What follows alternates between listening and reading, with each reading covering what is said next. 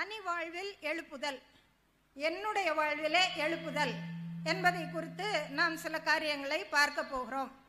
குஜராத்தில் மழை பெய்யுது டெல்லியில் மழை பெய்யுது அப்படின்னு சொன்னால் அதனால் எனக்கு என்ன பிரயோஜனம்? எனக்கு ஒன்றும் பிரயோஜனம் எங்கேயாவது மழை பெஞ்சிட்டு போகுது. ஆனால் வெள்ளூரில் மழை பெய்யணுமே என் வீட்டு கிணறு நிரம்பணுமே அப்போ தானே எனக்கு பிரயோஜனம்? அப்போ தானே எனக்கு சந்தோஷம்? அதே மாதிரி எழுப்புதல் அங்கே வந்துச்சு இங்கிலாண்டில் வந்துச்சு அமெரிக்காவில் வந்துச்சு நாகாலாண்டில் வந்துச்சு. அதனால் எனக்கு என்ன சார் பிரயோஜனம்? அப்போது என்னுடைய வாழ்க்கையில் ஒரு எழுப்புதல் வேணும் என்கிற சில காரியங்களை நாம் பார்க்க வேண்டும். ஏனென்றால் இன்றைக்கு வந்து நிறைய பேர் வந்து எழுப்புதல் அங்கே எங்கன்னு பார்த்து திருப்தி ஆயிடுறாங்க. எனக்குள்ள ஒரு எழுப்புதல் வரணுமே அப்படின்னு ஒரு வாஞ்ச வந்தாதான் உண்மையாகவே இந்தியாவுக்கு ஒரு எழுப்புதல் வரும். உங்களுக்கும் எனக்கும் எழுப்புதல் வரலன்னு சொன்னால் இந்தியாவில் எழுப்புதல் வரவே வராது. இதற்கு அடிப்படையாக நான் யோவான் பத்து பத்து எடுத்திருக்கிறேன். நம்ம எல்லாருக்கும் ரொம்ப நல்லா தெரிஞ்ச ஒரு வசனம் பாராமவே தெரியும் என்று நினைக்கிறேன். சாத்தான் எதுக்கு வருகிறானா? பிசாசு கொல்றதுக்கும் திருடுறதுக்கும் திருடவும் கொல்லவும் அழிக்கவும் வருகிறான். யார் இந்த திருடன்? பிசாசு தான் பிசாசு என்று சொன்னால் பிசாசு ரூபமாக வர மாட்டான் நம்மை சுற்றி இருக்கிற கெட்ட மக்கள் தான் இவர்கள் தான் எதுக்கு வருகிறார்களாம்? திருடவும் கொல்லவும் அழிக்கவும் வருகிறானே என்று வேறொன்றுக்கும் வரான். இந்த மூணு தான் அவனுக்கு முக்கியமான ஒரு காரணம். கெட்ட நபர்களுக்கு கா காரியம் என்னன்னு சொன்னால் நம்மகிட்ட இருக்கிறத திருடணும் அதை வந்து கொன்றணும் அந்த எழுப்புதலை. அந்த எழுப்புதல் அப்படியே அழித்து போடணும் என்று சொல்லி அவன் வருகிறான். அப்போது நம்ம வந்து ரட்சிக்கப்படும் போது அவன் நம்ம பார்க்குறான். நம்ம எவ்வளோ சந்தோஷமாயிரும் எவ்வளோ எழுப்புதல் அடைஞ்சிரும் ஆகா இவங்கள விடக்கூடாது இவனை என்ன பண்ணணும்? இவனுடைய சந்தோஷத்தை திருடி இவன் இயேசு மேலே வச்சிருக்கிற அந்த அன்பை திருடி நம்ம யார் மேலேயாவது வச்சிடணும் எது மேலேயாவது வச்சிடணும் அப்பா அந்த எழுப்புதல் அப்படியே செத்து போகும்னு நினைக்கிறான். ஆண்டவர் அவனுக்கு சளைத்தவன் அல்ல சளைத்தவர் அல்ல. அவர் என்ன சொல்றாருன்னு பாருங்க. நானும் அவை வர்றது வந்துட்டு போட்டோம். நான் எதுக்கு வர்றேன்? அவைகளுக்கு இந்த ஆட்டுக்குட்டிகளுக்கு ஜீவன் உண்டாயிருக்கவும் அது பரிபூரணப்படவும் வந்தேன்.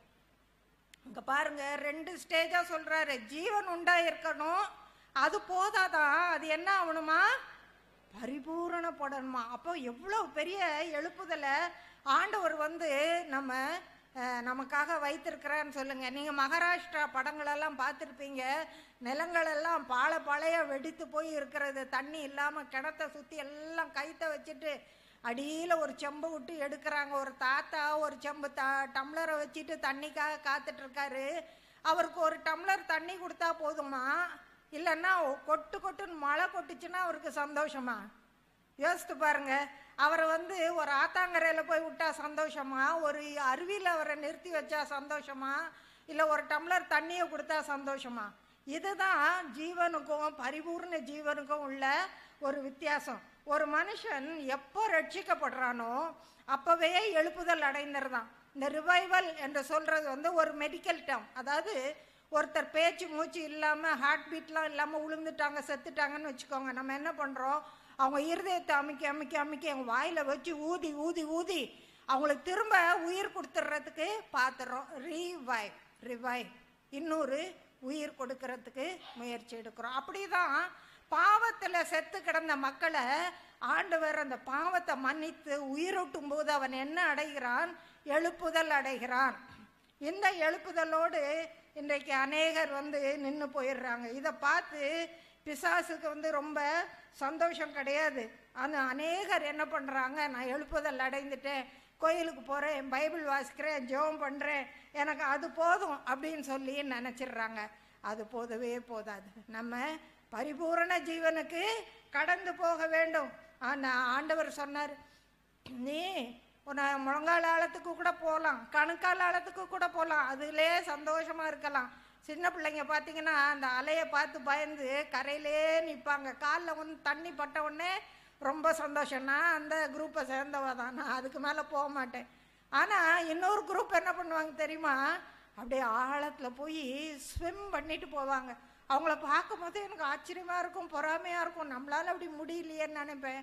ஆனால் ஆண்டவர் சொல்கிறாரு நீ வந்து கணுக்கால் ஆழத்தோடையும் நிற்காத வா உன்னை நீச்சல் ஆழத்துக்கு நான் கூட்டி கொண்டு போகிறேன் என்று சொல்கிறார் இன்றைக்கு நம்ம எல்லாரும் நீச்சல் அடிக்க போகிறோம்.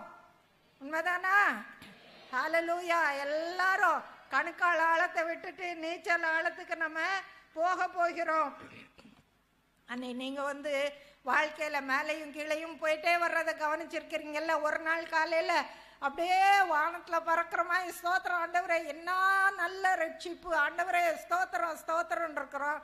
அடுத்த நாள் காலையில எழுந்திரிச்சோம் குரங்க இஞ்சி தின்ன குரங்கு மாதிரி எல்லாம் டவுனாக போய் ஏன்டா இன்னைக்கு ஒரே டிப்ரெஷனாக இருக்குன்னு சொல்லி நினைக்கிறோம்.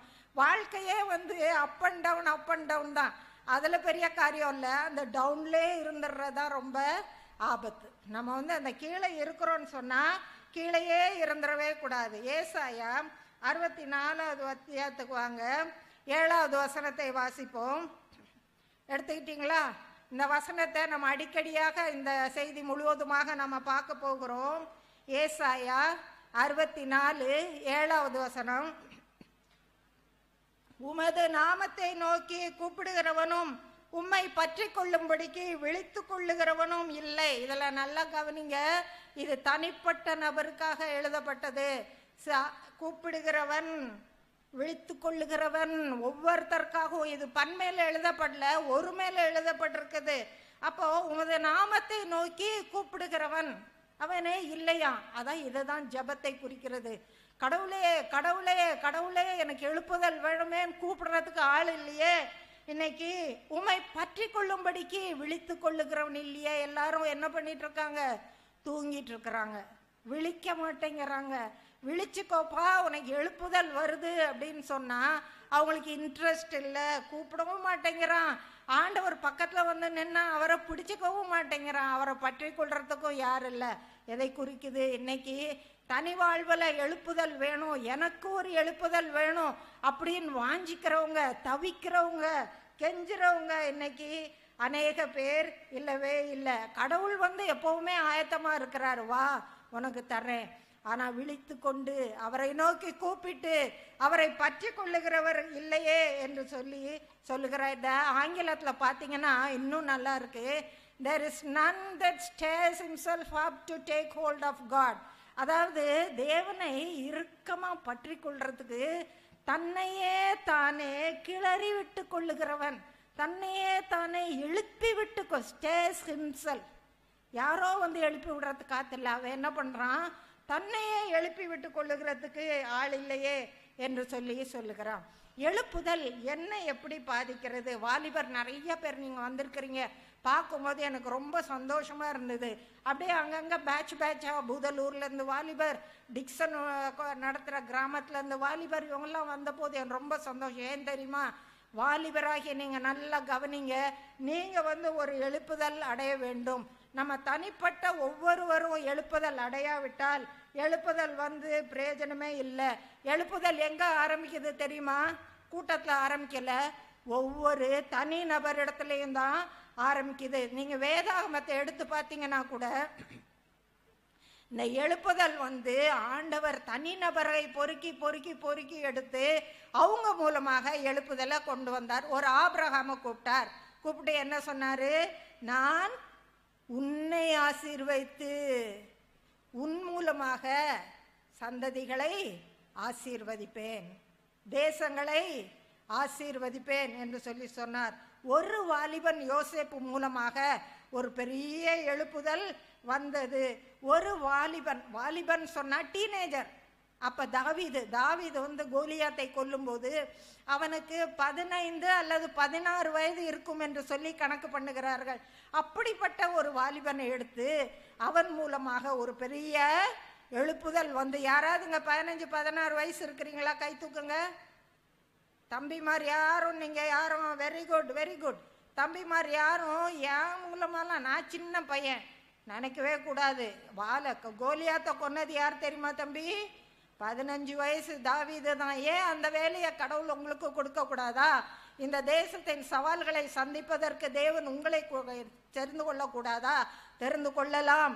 நீங்கள் அதை தெரிந்து கொள்வீர்களானால் நிச்சயமாக ஆண்டவர் உங்களை தெரிந்து கொள்வார் ஒரு எஸ்ராவை தெரிந்து கொண்டார் ஒரு நெகேமியாவை தெரிந்து கொண்டார் ஒரு தெபராள் ஒரு எஸ்தர் ஒரு பவுல் ஒரு பா ஒரு பேதுரு. அம் அப்படியானால் நாம் இதிலேருந்து என்ன பார்க்குறோம்? இவங்க எல்லாம் தங்களை தாங்கனே எழுப்பி விட்டு கொண்டவர்கள். இவர்கள் தேவனை நோக்கி கூப்பிட்டவர்கள் அவருடைய நாமத்தை நோக்கி கூப்பிட்டவர்கள் அவரை பற்றி கொள்ளும்படியாக விழித்து கொண்டவர்கள். வசனம் சொல்லுது எழும்பி பிரகாசி உன்மொழி வந்தது. அழுத்துங்க அதை தான் உன்மொழி தனிப்பட்ட உங்கள் ஒவ்வொருடைய ஒளியும் வந்துருச்சு. கடவுள் இயேசு சொன்னார் நீங்களே உலகத்துக்கு வெளிச்சமாய் இருக்கிறீர்கள் என்று சொன்னாரு. ஆனா எழும்பி பிரகாசிக்கிறது யார் வேலை? நம்ம வேலை தான். ஆண்டவர் நம்மளை வெளிச்சமாக்கிட்டார் விளக்காக்கிட்டார் சந்தேகம் இல்லை. ஆனால் அநேகர் எழும்பவும் இல்லை அநேகர் பிரகாசிக்கவும் இல்லை. இந்த பொறுப்பு வந்து நம்முடைய கையில் தான் இருக்குது. அப்படி நம்ம எழும்பி பிரகாசிப்போமானால் மனிதர் நம்முடைய நற்கிரியைகளை கண்டு தேவனை மகிமைப்படுத்துவார். அதாவது ஒரு பெரிய எழுப்புதல் வரும். மற்றவங்க வந்து பார்த்து நம்முடைய தேவனை அவங்க மகிமைப்படுத்துவதற்கு ஆரம்பிப்பார்களாம். ஆகையினாலே இன் இப்படிப்பட்ட ரிவைவல் வரும்படியாக எழுப்புதல் வரும்படியாக நம்முடைய விளக்கு திரிகளை நாம் சுத்தம் செய்து கொள்ள வேண்டும். நாம் இந்த உலகத்தை பார்க்கிறோம். வெளியே போனால் விக்கிரக ஆராதனை இந்த பக்கம் போனால் பெரிய பெரிய கோவில்கள் கட்டி வணங்குகிறார்கள். நியூஸ் பேப்பர் எடுத்து பார்த்தோமாலார் ஒரு பேஜ் ஃபுல்லாக நிறைய படங்களும் இங்கே என்ன அங்கே என்ன பூஜைகள் அது நிறையா. அப்போது கொலைகள் கொள்ளைகள் என்னெல்லாமோ வருது. Bomb bomb. எங்கே பாரு பாம் வெடிக்குது யுத்தம். பார்க்கும்போது நம்ம என்ன நினைக்கிறோம்? என்ன இந்த இருண்ட உலகம்? நம்ம என்ன செய்ய முடியும்? அவ்வளோதான் நம்ம ஜோகம் பண்ணலாம் வேற என்ன செய்ய முடியும்? நினைக்கிறீங்கல்ல? அதனால தான் நம்முடைய உலகம் மாறாமல் இருக்கிறது. நெகேமியா கூட அப்படிதான் நினைச்சான் நீங்கள் அப்படியும் நினைக்கலாம். இல்லைன்னு சொன்னால் நான் ஏதாவது ஒன்று இந்த ஆண்டவருக்காக நான் செய்வேன் இந்த உலகத்தை மாற்றுவேன்னு சொல்லி நீங்கள் எழுப்புனீங்கன்னா நிச்சயமாக உங்கள் மூலமாக எழுப்புதல் வந்து இந்த உலகத்தை பாதிக்க தான் செய்யும். அதே மாதிரி ஒரு நெகைமையாவை நீங்கள் ஒரு எடுத்துக்காட்டாக எடுத்துக்கிட்டிங்கன்னா இந்த நெகைமையா ஒரு நாள் பார்த்தோம் இந்த காம்பவுண்ட் வாலில் எருசலேமுடைய காம்பவுண்ட் வால் மதில் சுவர்லாம் சுட்டரிக்கப்பட்டு கிடக்குதான். அப்போ அவனுக்கு ஒரே அழுக வருது விழுந்து அழுது அழுது உபவாசிக்கிறான். அப்புறம் ஆண்டவரே நான் என்ன ஆண்டவரே செய்ய முடியும் அப்படின்னு படுத்து தூங்கிட்டானா? நம்ம நிறைய பேர் அப்படி தானே பண்ணுறோம் ஜோம் பண்ணிட்டு ஜோம் பண்ணி என்ன பண்ண முடியும்னு தூங்கிடுறோம்ல? நெகேமே அப்படி தூங்கல. அவன் எழுந்தான். ஆண்டவரே நான் ஏதாவது ஒன்று செய்யணும் ஆண்டவரே. இதை பார்த்துட்டு நான் சும்மா இருக்க முடியாது ஆண்டவரே. என்ன பண்ணான் புறப்பட்டு போனான் போயிட்டு அங்கே பெரிய மாறுதலை உண்டாக்கினான். காம்பவுண்ட் வால கட்டி முடித்தான் முடித்து இனாகரேஷன் ஒரு டெடிகேஷன் சர்வீஸ் வைத்தான். எவ்வளோ பெரிய சந்தோஷம் பாருங்க. இப்படியாக தான் பிசாசு வந்து மங்கி எரிகிற திரியை அணைப்பதற்கு அவன் ரெடியாக காத்துட்டே இருக்கான். அவன் அதில் ஸ்பெஷலிஸ்ட் பாப்பா இந்த கூட்டத்தில் யார் யாரெல்லாம் மங்கி திரிகிறா? டப்பு டப்பு டப்புன்னு அணைப்பா. ஏய் உன்னால் ஒன்றும் செய்ய முடியாது. ஏய் உன்னால் ஒன்றும் செய் ஏய் செய்தியை கேட்டுட்டு ரொம்ப தான் எழும்பிடாத உட்கார்னி சி உனக்கெல்லாம் முடியாது. இது பிசாசுடைய ஸ்பெஷலிசம் அவனை நம்பாதீங்க. ஆண்டவர் இருக்கிறார். அவர் மங்கி எறிகிற திரிய அணைக்கவே மாட்டார். நெறிஞ்ச நாணல. அவர் முறிக்கவே மாட்டார். அதை கட்டி நல்லா காயம் கட்டி நல்லாக்கிடுவார் நம்ம வீட்டில் ஒரு செடி உடஞ்சதுன்னா என்ன பண்ணுறோம்? எடுத்து ஐயோ கட்டி நல்லா பண்ணிடுறோம் இல்லையா? அதே போல் ஒரு திரி எரியலைன்னா என்ன பண்ணுறோம்? க்ளீன் பண்ணி எரிய வைக்கிறோம் இல்லையா? அப்படி தான் ஆண்டவர் நம்ம எடுத்து நம்முடைய வாழ்க்கையை கூட அவர் வந்து ஆசீர்வாதமாக மாற்றுவதற்கு காத்து கொண்டு இருக்கிறார் ஆகையினாலே நம்ம வந்து ஜீவனோடு கூட திருப்தியாகி விடவே கூடாது. எங்க போனோம்? பரிபூர்ண ஜீவனுக்கு நேராக நாம் நடந்து போக வேணும். நான் கூட யோசித்து பார்க்கும்போது பதிமூணு வயசில் நான் ஆண்டவரை ஏற்றுக்கொண்டேன். அதிலிருந்து இப்படி தான் up and down up and டவுனாக போயிட்டே இருப்பேன். சில சமயத்தில் ஆண்டவரே எனக்கு ஏன் ஆண்டவரே நான் இப்படி இருக்கேன்? ஏன் ஆண்டவரே என்னை விட்டுட்டீங்க? எங்கே ஆண்டவரே போயிட்டீங்கன்னு இருப்பேன். இப்போ அப்படி இல்லை. ஐம்பத்தி ஏழு வருஷமாக ஆண்டவரோடு கூட நடந்திருக்கேன். இப்போ அப்படி இல்லை. இப்போ எப்போ பார்த்தாலும் ஹைப்பராகவே இருக்கிறேன் ஆண்டவருக்கு இப்படியாக ஆண்டவர் உங்களை கூட மாற்ற வல்லவராக இருக்கிறார். நிச்சயமாய். இன்றைக்கு சில காரியங்களை நம்ம பார்க்கலாம். நம்முடைய வாழ்க்கையிலே எந்தெந்த பகுதிகளிலே எழுப்புதல் நமக்கு தேவையாக இருக்கிறது என்று சொல்லி நாம் பார்ப்போம். முதலாவதாக பரிசுத்த வாழ்க்கையிலே நமக்கு ஒரு எழுப்புதல் தேவை. நிதி தேவையா இல்லையா? நிச்சயமாக தேவை. பரிசுத்த வாழ்க்கையில் நிறைய பேர் மங்கி போய் இருக்கிறாங்க. அவனும் போய் சொல்கிறான் நம்மளும் போய் சொல்கிறான் அவனும் சண்டை போடுறான் நம்மளும் சண்டை போடுறான். அவன் பேரும் பேப்பரில் வருது நம்ம பேரும் பேப்பரில் வருது. என்னப்பா வித்தியாசம்? என்ன வித்தியாசம்? மற்றவங்களுக்கும் கிறிஸ்தவங்களுக்கும் என்ன வித்தியாசம்? ஒரு நாள் நாங்கள் சித்தேரி மலைக்கு போயிட்டு இருந்தோம். அப்போ வந்து ஒரு ஆக்சிடெண்ட் ஆகி ரோட்டில் அப்படியே அடிபட்டு கிடக்குறாங்க. மூணு நாலு பேர். எங்களுக்கு பயங்கர ஷாக் ஆயிடுச்சு. உடனே நான் காரை நிறுத்தி மடமடன்னு அவங்களெல்லாம் தூக்குறோம். அங்கே பக்கத்துலலாம் கூட்டம் சேர்ந்து நிற்குது கார் ஒரு பக்கமாக கார்கள்லாம் போயிட்டே இருக்குது. யாரும் நிறுத்தலை. நாங்கள் எடுத்து போடுறோம். ஜனங்கள் என்ன பேசிக்கிறாங்க தெரியுமா? இவங்கெல்லாம் கிறிஸ்தவங்களாக இருக்கும். கிறிஸ்தவங்க தான் இப்படி செய்வாங்க. அப்படி நம்முடைய பரிசுத்தத்தை குறித்து மக்கள் பேச வேண்டும். இவங்க கிறிஸ்தவங்களா? அதான் பொய் சொல்லாமல் பயப்படாமல் உண்மையை சொல்கிறாங்கப்பா இவங்க கிறிஸ்தவங்களா? அதான் வாய மூடிட்டு சண்டை போடாமல் திட்ட திட்ட போகிறாங்க அப்படி நம்மை குறித்து பேச வேணும். பரிசுத்தத்தில் நமக்கு ஒரு எழுப்புதல் நிச்சயமாக வேண்டும். வாலிபர் நிறைய பேர் இருக்கிறீங்க. என்கிட்ட கூட சொல்லியிருக்காங்க. வாலிப நாட்களில் பரிசுத்தமாக இருப்பது கூடாத காரியம். இது சாத்தானுடைய பெரிய ஒரு பொய் பெரிய ஒரு தந்திரம் வாலிபரே என்னுடைய சாட்சியின் புத்தகம் அங்கே புத்தக கடையில் இருக்குது மூன்று ரூபாயோ அஞ்சு ரூபாயோ ரொம்ப விலை கம்மி. தயவுசெய்து வாசித்து வாங்கி வாசி என்னுடைய பரிசுத்த வாழ்க்கையில் எப்படி நான் ஸ்ட்ரகிள் பண்ணேன்? நான் சி- ஏறத்தாழ முடியாத ஆண்டவரே என்னால் முடியாதுன்னு கூட சொல்லிட்டேன். ஆனால் ஆண்டவர் எப்படி என்னை நடத்தினார் என்று சொல்லி நீ அதில் தெளிவாக நான் எழுதியிருக்கேன். நீங்கள் படிக்கணும் அதெல்லாம். பெரியவங்கெல்லாம் நீங்கள் உங்கள் வாலிப பிள்ளைங்களுக்கும் மற்றவங்களுக்கும் நீங்கள் அந்த புத்தகத்தை வாங்கிட்டு போய் கொடுங்க. சிலர்லாம் டிராக்ட் மாதிரி அதை கொடுக்குறாங்க. அநேகரை அதை கட்டி எழுப்போம் பரிசுத்த வாழ்க்கைக்கு. மட்டுமல்ல மற்ற ஊழியத்திற்கும் கூட அது உற்சாகப்படுத்தும் என்று நான் நிச்சயமாக நம்புகிறேன். நீங்கள் வந்து இப்போ பரிசுத்த வாழ்க்கை என்று சொல்லும்போது முதல்ல நம்ம என்ன தப்பு செய்கிறோம் தெரியுமா? இவங்க அப்படி பண்ணுறாங்க அவங்க அப்படி பண்ணுறாங்க வாலிபர் என்ன நினைக்கிறீங்க? எங்கள் அப்பா அம்மாவை பாருங்க. அவங்க என்னை இப்படி வச்சுருந்தா நான் எவ்வளோ நல்லா இருப்பேன். அவங்க தான் என்னை கெடுக்கிறதே. இங்கே பாருங்க. எங்கள் டீச்சர்ஸை பாருங்க. மற்றவங்கள பார்த்து பார்த்து பார்த்து ஹஸ்பண்ட் என்ன நினைக்கிறேன்? என் ஒய்ஃபு பாருங்கள் இப்படி சண்டை போடுறான். என் ஹஸ்பண்டை பாருங்கள் இப்படி குடிச்சிட்டு வர்றார். யார் அதெல்லாம் உங்களை கேட்டது? உங்களை நீங்கள் பரிசுத்தமாக இருக்கிறீங்களான்னு சொல்லி நீங்கள் முதலாவது உங்களை குறித்து நீங்கள் பார்க்க வேண்டும். வேதம் என்ன சொல்லுது? பரிசுத்தமாக இருக்கிறவன் இன்னும் பரிசுத்தமாக இருக்கட்டும். இதை ரெண்டு விதமாக நான் பார்க்கிறேன். இன்னும் பரிசுத்தமாக இருக்கட்டும்னு சொன்னால் நீ பரிசுத்தமாக இருக்கிறன்னு நினைக்கிறியா? விட்டுறாத. பிசாசு வர்றான் திருடுறதுக்கு வர்றான். இன்னும் நீ பரிசுத்தமாகவே இரு. அப்படின்னும் பார்க்கலாம்.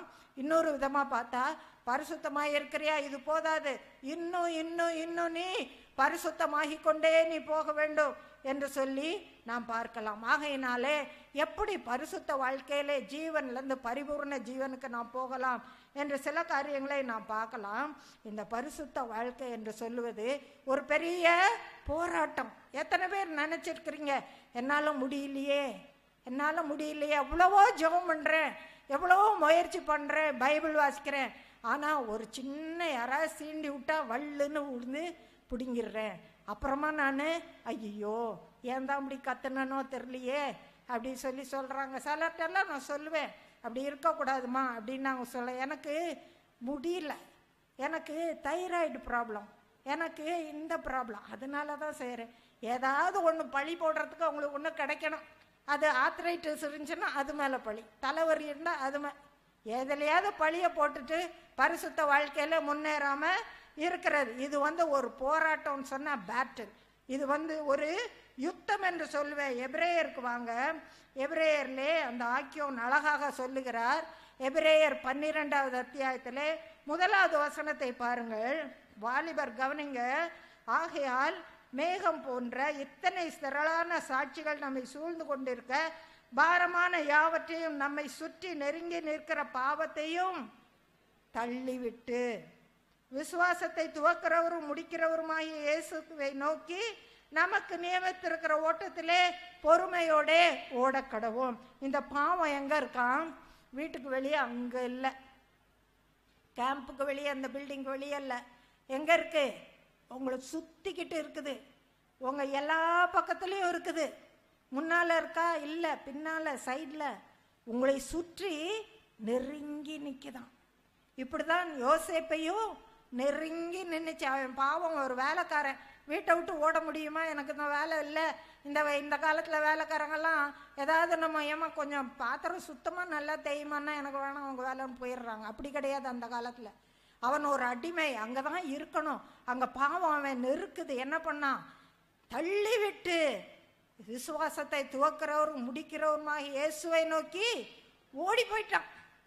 தப்பித்து கொண்டான். இப்போ சொல்லுங்க வாலிபரே பாவத்துக்கு தப்புவது முடியுமா முடியாதா? நிச்சயமாக முடியும். அது யார் கையில் இருக்கு? கடவுள் கையில் இருக்கா? இல்லை. உங்க கையில தான் இருக்கு. நீங்க தான் தள்ளி விட்டு விட்டு ஓட வேண்டும். அதற்கு வேண்டிய பலனை ஆண்டவர் உங்களுக்கு கொடுத்திருக்கிறார். யார்? விசுவாசத்தை துவக்கிறவரும் முடிக்கிறவரும். அப்போ பாருங்க இதுக்கு அடிப்படையே விசுவாசம்தான். விசுவாசத்தினால் நீதிமான் பிழைப்பான். அந்த ஜீவன் எங்கிருந்து வருது? விசுவாசத்தில் தான் வருது. அவன் வந்து எப்பப்போ பயப்படுறானோ அப்போல்லாம் என்ன நினச்சிக்கணும்? இல்லை என் ஆண்டவரை நான் நம்புகிறேன். என் ஆண்டவர் எனக்கு வெற்றி தருவார். நான் தோத்துட்டேன்னா பரவாயில்ல நான் எந்திரிச்சுக்குவேன். திரும்ப ஓடுவேன். பிசாசே நீ என்னை பார்த்து சிரிக்காத. நான் ஒரேடியாக பெர்மனண்ட்டாக நான் தோல்வி அடையலை. நான் நிரந்தரமாக நான் தோல்வி அடையலை. நான் கீழே விழுந்தேன். உண்மைதான். நான் எந்திரிச்சுக்குவேன். ஓடுவேன். எந்திரிச்சுக்குவேன். ஓடுவேன். இது எவ்வளோ நாள் நடக்கும் தெரியுமா? பதினாறு வயசுலேருந்து அறுபது வயசு வரைக்கும் இல்லை. சாகிற வரைக்கும் இது நடக்கும். விழுந்து விழுந்து தான் ஓடுவீங்க. அதுக்குரிய விசுவாசம் உங்களுக்கு ஐயோ எனக்கு எழுபது வயசு ஆயிடுச்சே இன்னுமே எனக்கு வெற்றி இல்லையே. நினைக்காதீங்க. இன்னும் வெற்றி மேலே வெற்றி. அப்பப்போ விழ விழ எந்திரிச்சு ஓடிக்கிட்டே இருக்கணும். அதுதான் விசுவாசம். அதனால தான் வசனம் சொல்லுது ஓட்டத்திலே பொறுமையோடே ஓடக்கணும். இந்த ஓட்டம் மட்டும் வேக வேக வேகமாக ஓடுற ஒரு ஓட்டம் இல்லை. இது ஸ்லோ சைக்கிள் ரேஸ் மெதுவா மெதுவா பொறுமையா பொறுமையா ஓடி ஒரு நாளிலே வெற்றி வாகை நாம் சூட போகிறோம். நம்பிக்கை இருக்குதா உங்களுக்கு? நிச்சயமாக ஆண்டவர் நமக்கு வெற்றியை கொடுக்கத்தான் போகிறார். பன்னிரெண்டாவது அத்தியாயத்திலே எபிரேயர் நாலாவது வசனத்தை பாருங்க. பாவத்திற்கு விரோதமாய் போராடுகிறதில் இரத்த சிந்தப்படத்தக்கதாக நீங்கள் இன்னும் எதிர்த்து நிற்கவில்லையே. பார்த்தீங்களா நம்முடைய கோலத்தனத்தை சுட்டி காட்டுது பார்த்தீங்களா நம்ம எவ்வளவு தூரம் எழுந்திரிச்சு நிற்கணும் எவ்வளவு தூரம் யுத்தம் பண்ணணும்? பாவத்துக்கு விரோதமாக யாராவது ரத்தம் சிந்திருக்கீங்களா இல்லையே. அந்த அளவு நீங்கள் போராடணுமா? ஆகையினாலே பிசாசுக்கு விரோதமான இந்த போராட்டத்தை நீங்கள் வந்து ரொம்ப லேசாக நினச்சிடாதீங்க லைட்டாக எடுத்துடாதீங்க இது ஒரு யுத்தம் இது ஒரு போராட்டம். அப்பப்போ பிசாசு சொல்லிகிட்டே இருப்பான் உங்கள் ஒரு காதலை. இப்போ உன்னால் முடியாது. ஏன் நீ இவ்வளோ கஷ்டப்படுற? எதுக்காக நீ இவ்வளோ ஸ்ட்ரகிள் பண்ணுற ஒரு நாள் முடியாது. ஒரு நேரம் பாவம் செஞ்சுக்கோ. அதனால் ஒன்றும் இல்லை. ஒரு நாள் ஐஸ்கிரீம் போட்டு சாப்பிட்டேன்னா இன்னும் தப்பா? வெயிட்டு போட்டுருமா? அப்படின்னு சொல்லி என்ன பண்ணுவான்? அப்படியே அப்படியே அப்படியே. இன்னைக்கு இந்த பாவம் செய்யணும். ஆ பெருசு இல்லைப்பா பரவாயில்லப்பா. நாளைக்கு நீ பார்த்துக்கோ இப்படியே உங்களை ஏமாத்தி ஏமாத்தி ஏமாத்தி குழிக்குள்ள கொண்டு போய் தள்ளி விடுவான். லிவ் ஒன் டே ட்ரெயின் இன்னைக்கு நான் வெற்றி எடுக்கணும். இன்னைக்கு நான் வெற்றி எடுக்கணும். இன்னைக்கு நான் வெற்றி எடுக்கணும். ஒவ்வொரு நாளும் வெற்றி வெற்றி நடை போடுவீங்கனாலாம் நிச்சயமாக நீங்கள் வந்து ஒரு நாளிலே ஆண்டவருடைய சமூகத்திலே ஆண்டவரே நீர் சொன்னீரே இருதயத்தில் சுத்தமுள்ளவன் பாக்கியவான். அவன் தேவனை தரிசிப்பான். இந்த சுத்தமுள்ளவர்கள் முக்கியமாக இருதயத்தில் சுத்தமுள்ளவர்கள் அவர்கள்தான் தேவனை தரிசிப்பார்கள். ஏசாயா அறுபத்தி நாலுக்கு மறுபடியுமா நீங்கள் வாங்க. இங்கே வந்தீங்கன்னா அதே காரியத்தை நான் நாலாவது வசனத்திலிருந்து நான் வாசிக்கிறேன். ஏசாயா அறுபத்தி நாலு ஐந்திலிருந்து வாசிக்கிறேன். மகிழ்ச்சியாய் நீதியை செய்கிறவர்களையும் உம்முடைய வழிகளில் உம்மை நினைக்கிறவர்களையும் சந்திக்கிறீர். சிலரை தான் ஆண்டவர் சந்திக்கிறார். நாங்களோ அவைகளுக்கு விரோதமாக எப்பொழுதும் பாவம் செய்தபடியினால் தேவரீர் கடுங்கோபம் கொண்டு இன்னமும் தப்பி இருக்கிறோம் நாங்கள் அனைவரும் தீட்டானவர்கள் போல இருக்கிறோம். எங்களுடைய நீதிகள் எல்லாம் அழுக்கான கந்தை போல இருக்கிறது. நாங்கள் அனைவரும் இலைகளைப் போல உதிருகிறோம். எங்கள் அக்கிரமங்கள் காற்றை போல எங்களை அடித்து கொண்டு போகிறது. ஆதாம் ஏவாள் என்ன பண்ணாங்க தெரியுமா? இலைய சுத்தி சுத்தி கட்டிக்கிட்டாங்க. அந்த இலை எத்தனை நாளைக்கு இருக்கும்? அடுத்த நாளே அது காஞ்சி உதிர்ந்துரும். அது அவங்களுக்கு தெரியல. இப்படிதான் நம்முடைய பாவத்தை மறைப்பதற்கு நாம் முயற்சி எடுக்கிறோம். அப்படி பாவத்தில் இருக்கிறதுனால என்ன ஆயிடுச்சான் ஏழாவது வசனம் உமது நாமத்தை நோக்கி கூப்பிடுறவே இல்லை. உண்மை பற்றி கொள்றதுக்கு விழித்து கொள்றவே இல்லை என்று சொல்லிட்டு அதுக்கு ஒரு நிவாரணத்தை ஒரு சொல்யூஷனை அவரே தீர்க்கதரிசியை சொல்றார் பாருங்க அடுத்த வசனத்துல. இப்பொழுதும் கர்த்தாவே நீர் எங்களுடைய பிதா நாங்கள் களிமண். நீர் எங்களை உருவாக்குகிறவர். நாங்கள் அனைவரும் உமது கரத்தின் கிரியை என்று சொல்லி தன்னை ஒரு களிமண்ணாக அவர் ஆண்டவருடைய கையிலே ஒப்பு கொடுக்கிறார். இப்படிதான் பரிசுத்த ஜீவியத்திலே முன்னேற வேண்டுமானால் நாம் நம்மை களிமண்ணாக ஆண்டவர் கையிலே ஒப்பு கொடுக்க வேண்டும். அந்த குயவன் என்ன பண்ணுவான்? அந்த களிமண்ணை போட்டு நல்லா மிதிப்பான். மிதிக்கும் போது சின்ன சின்ன கல் காலில் மிதிப்படும். அந்த கல்லெல்லாம் பொறுக்கி பொறுக்கி தூர ஏறிவான். அப்புறம் என்ன பண்ணுவான்? வைத்து வனைவான். அதுக்கப்புறம் தான் பயங்கரமான ஒரு அனுபவம். என்ன பண்ணுறான் அதை தூக்கி நெருப்பில் வச்சிடுறான். இந்த பானை அலறுமா ஐயோ அப்பா ஐயோ அப்பா முடியலையே முடியலையே. ஆனால் அவன் அந்த பானையை அது வெளியே எடுக்கும்போது அவ பயனுள்ள பாத்திரமாக அது வெளியே வருகிறது. இதுதான் பரிசுத்த பாதை. இப்படி நம்ம ஆண்டவர் கையில் ஒப்பு கொடுக்கோமானால் பல கஷ்டங்கள் வரும். பரிசுத்த பாதையிலே பல வேதனைகள் வரும். இல்லை ஆண்டவரே என்னை விட்டுருங்கன்னு சொல்லி நம்ம கத்தவே கூடாது. ஆண்டவரே என்னை பொன்னாக விளங்க பண்ணும் ஆண்டவரே. ஏழு மடங்கு சூடாக்கி என்னை பொன்னாக விளங்க பண்ணும் ஆண்டவரே என்று சொல்வோமானால் அருமையான ஒரு பாத்திரமாக ஒரு ஆண்டவர் வந்து உங்களை உருவாக்குவார். பாருங்க தாவிதை குறித்து நம்ம நினைக்கும் போது எவ்வளவு பெரிய பக்திமான் என்று சொல்லி நாம் நினைக்கிறோம். ஆனால் அந்த தாவீதுடைய நிலைமையை சங்கீதம் நூற்றி பத்து பத்தொன்பதாவது அத்தியாயத்திலே இருபத்தி ஐந்தாவது வசனம் பாருங்க. சங்கீதம் நூற்றி பத்தொன்பது இருபத்தி ஐந்து. என் ஆத்துமா மண்ணோடு ஒட்டி கொண்டு இருக்கிறது உமது வசனத்தின்படி என்னை உயிர்ப்பி. அவருடைய ஆத்துமா மண்ணோடு ஒட்டிக்கிட்டு இருந்துச்சுதான். அதை பிடுங்கி எடுக்கக்கூட முடியலையா? நம்முடைய ஆத்மா அப்படிதானே ஒட்டிட்டு இருக்குது இல்ல பரிசுத்தம் வேணும்னு நினைக்கிறோம். ஆனா உலக பிரகாரமான காரியங்கள் அசுத்தங்கள் நம்ம இருக பிடிச்சு கொண்டிருக்குது. நாம் நாலு பேருக்கு முன்பாக பரிசுத்தவான்களாக நிற்க வேண்டும். அதை குறித்து சுருக்கமாக சொல்லிவிட்டு போகிறேன். முதலாவதாக நாம் தேவனுக்கு முன்பாக பரிசுத்தவான்களாக நாம் நிற்க வேண்டும். யோபுவை குறித்து சொல்லும்போது யோபு தேவன் அவனை குறித்து ஒரு அருமையான சாட்சி கொடுத்தார். ஆனால் யோபு தன்னை குறித்து என்ன சொல்லுகிறான் என்று சொல்லி யோபு பத்தாவது அத்தியாயத்திலே ஏழாவது வசனத்தை பாருங்கள். யோபு சொல்லுகிறார் நான் துன்மார்க்கன் அல்ல என்பது உமக்கு தெரியும். நம்ம யாராவது தேவனுக்கு முன்னால நின்று ஆண்டவரே நான் கட்டவே இல்லைன்னு உங்களுக்கு தெரியும் ஆண்டவரே என்று சொல்லி சொல்ல முடியுமானால் சந்தோஷப்படுங்க. அந்த நிலைமையிலே நாம் இருக்க வேண்டும். தேவன் சொன்னார் யோபு உத்தமன் என்று சொல்லிய சாட்சி கொடுத்தார். ரெண்டாவதாக யோபுவை குறித்து என்ன சொன்னார்? அவன் யுத்தமனும் சன்மார்க்கனும் அதாவது சரியான பாதையிலே சரியான மார்க்கத்திலே போகிறவன் என்று சொன்னார் மற்றவர்கள் பார்க்கும்போது இவன் சரியான பாதையிலே தான் போகிறார்கள் என்று சொல்லி சாட்சி சொல்ல வேண்டும். இன்றைக்கு பொதுவாக யாராவது நம்மை குறித்து பேசிவிட்டால் என்ன பண்ணுறோம் போய் சண்டை போடுறோம். என்ன குறித்து பேசுகிறதுக்கு உனக்கு என்ன நியாயம் இருக்கு? நீயே என்னை பற்றி பேசின. நீயே என்னை பற்றி ஃபோன் பண்ண. அப்படி செய்கிறத விட்டு விட்டு மற்றவங்க நம்ம குறித்து பேசாமல் நம்ம நடந்து கொள்ள வேண்டுமே. யாரும் என்னை குறித்து தீது பேசாத அளவு நான் நடந்து கொள்ள வேண்டுமே என்று சொல்லி நாம் ஒரு முயற்சியை எடுக்க வேண்டும். அதான் ஆண்டவர் யோபுவை குறித்து சொன்னார். அவன் சன்மார்க்கன் என்று சொன்னார். மூன்றாவதாக நாம் நமக்கு முன்பாக நாம் நிற்கும்போது நாம் நீதிமான்களாக இருக்க வேண்டும். ஒரு ஒருத்தர் இப்படி சொன்னார் ஷேக்ஸ்பியர் சொன்னார். நீ உனக்கே உண்மையுள்ளவனாக இராவிட்டால் நீ மற்றவர்களுக்கு உண்மையுள்ளவனாக நீ இருக்க முடியாது என்று சொன்னார். முதலாவதாக நாம் நமக்கு உண்மை உள்ளவர்களாக இருக்க வேண்டும். ஜார்ஜ் ஒரு ஜார்ஜ் வாஷிங்டன் அமெரிக்கன் பிரசிடென்ட் என்ன பண்ணார் தெரியுமா?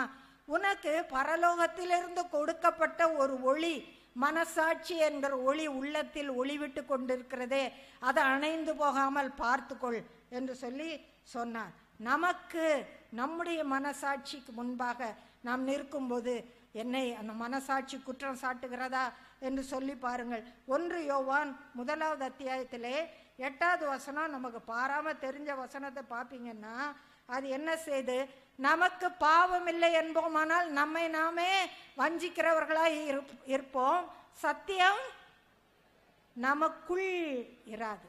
நமக்கு உள்ள சத்தியம் இல்லை என்று சொல்லி வேதம் சொல்லுது. அப்படியானா நமக்குள்ள சத்தியம் இருக்க வேண்டுமே.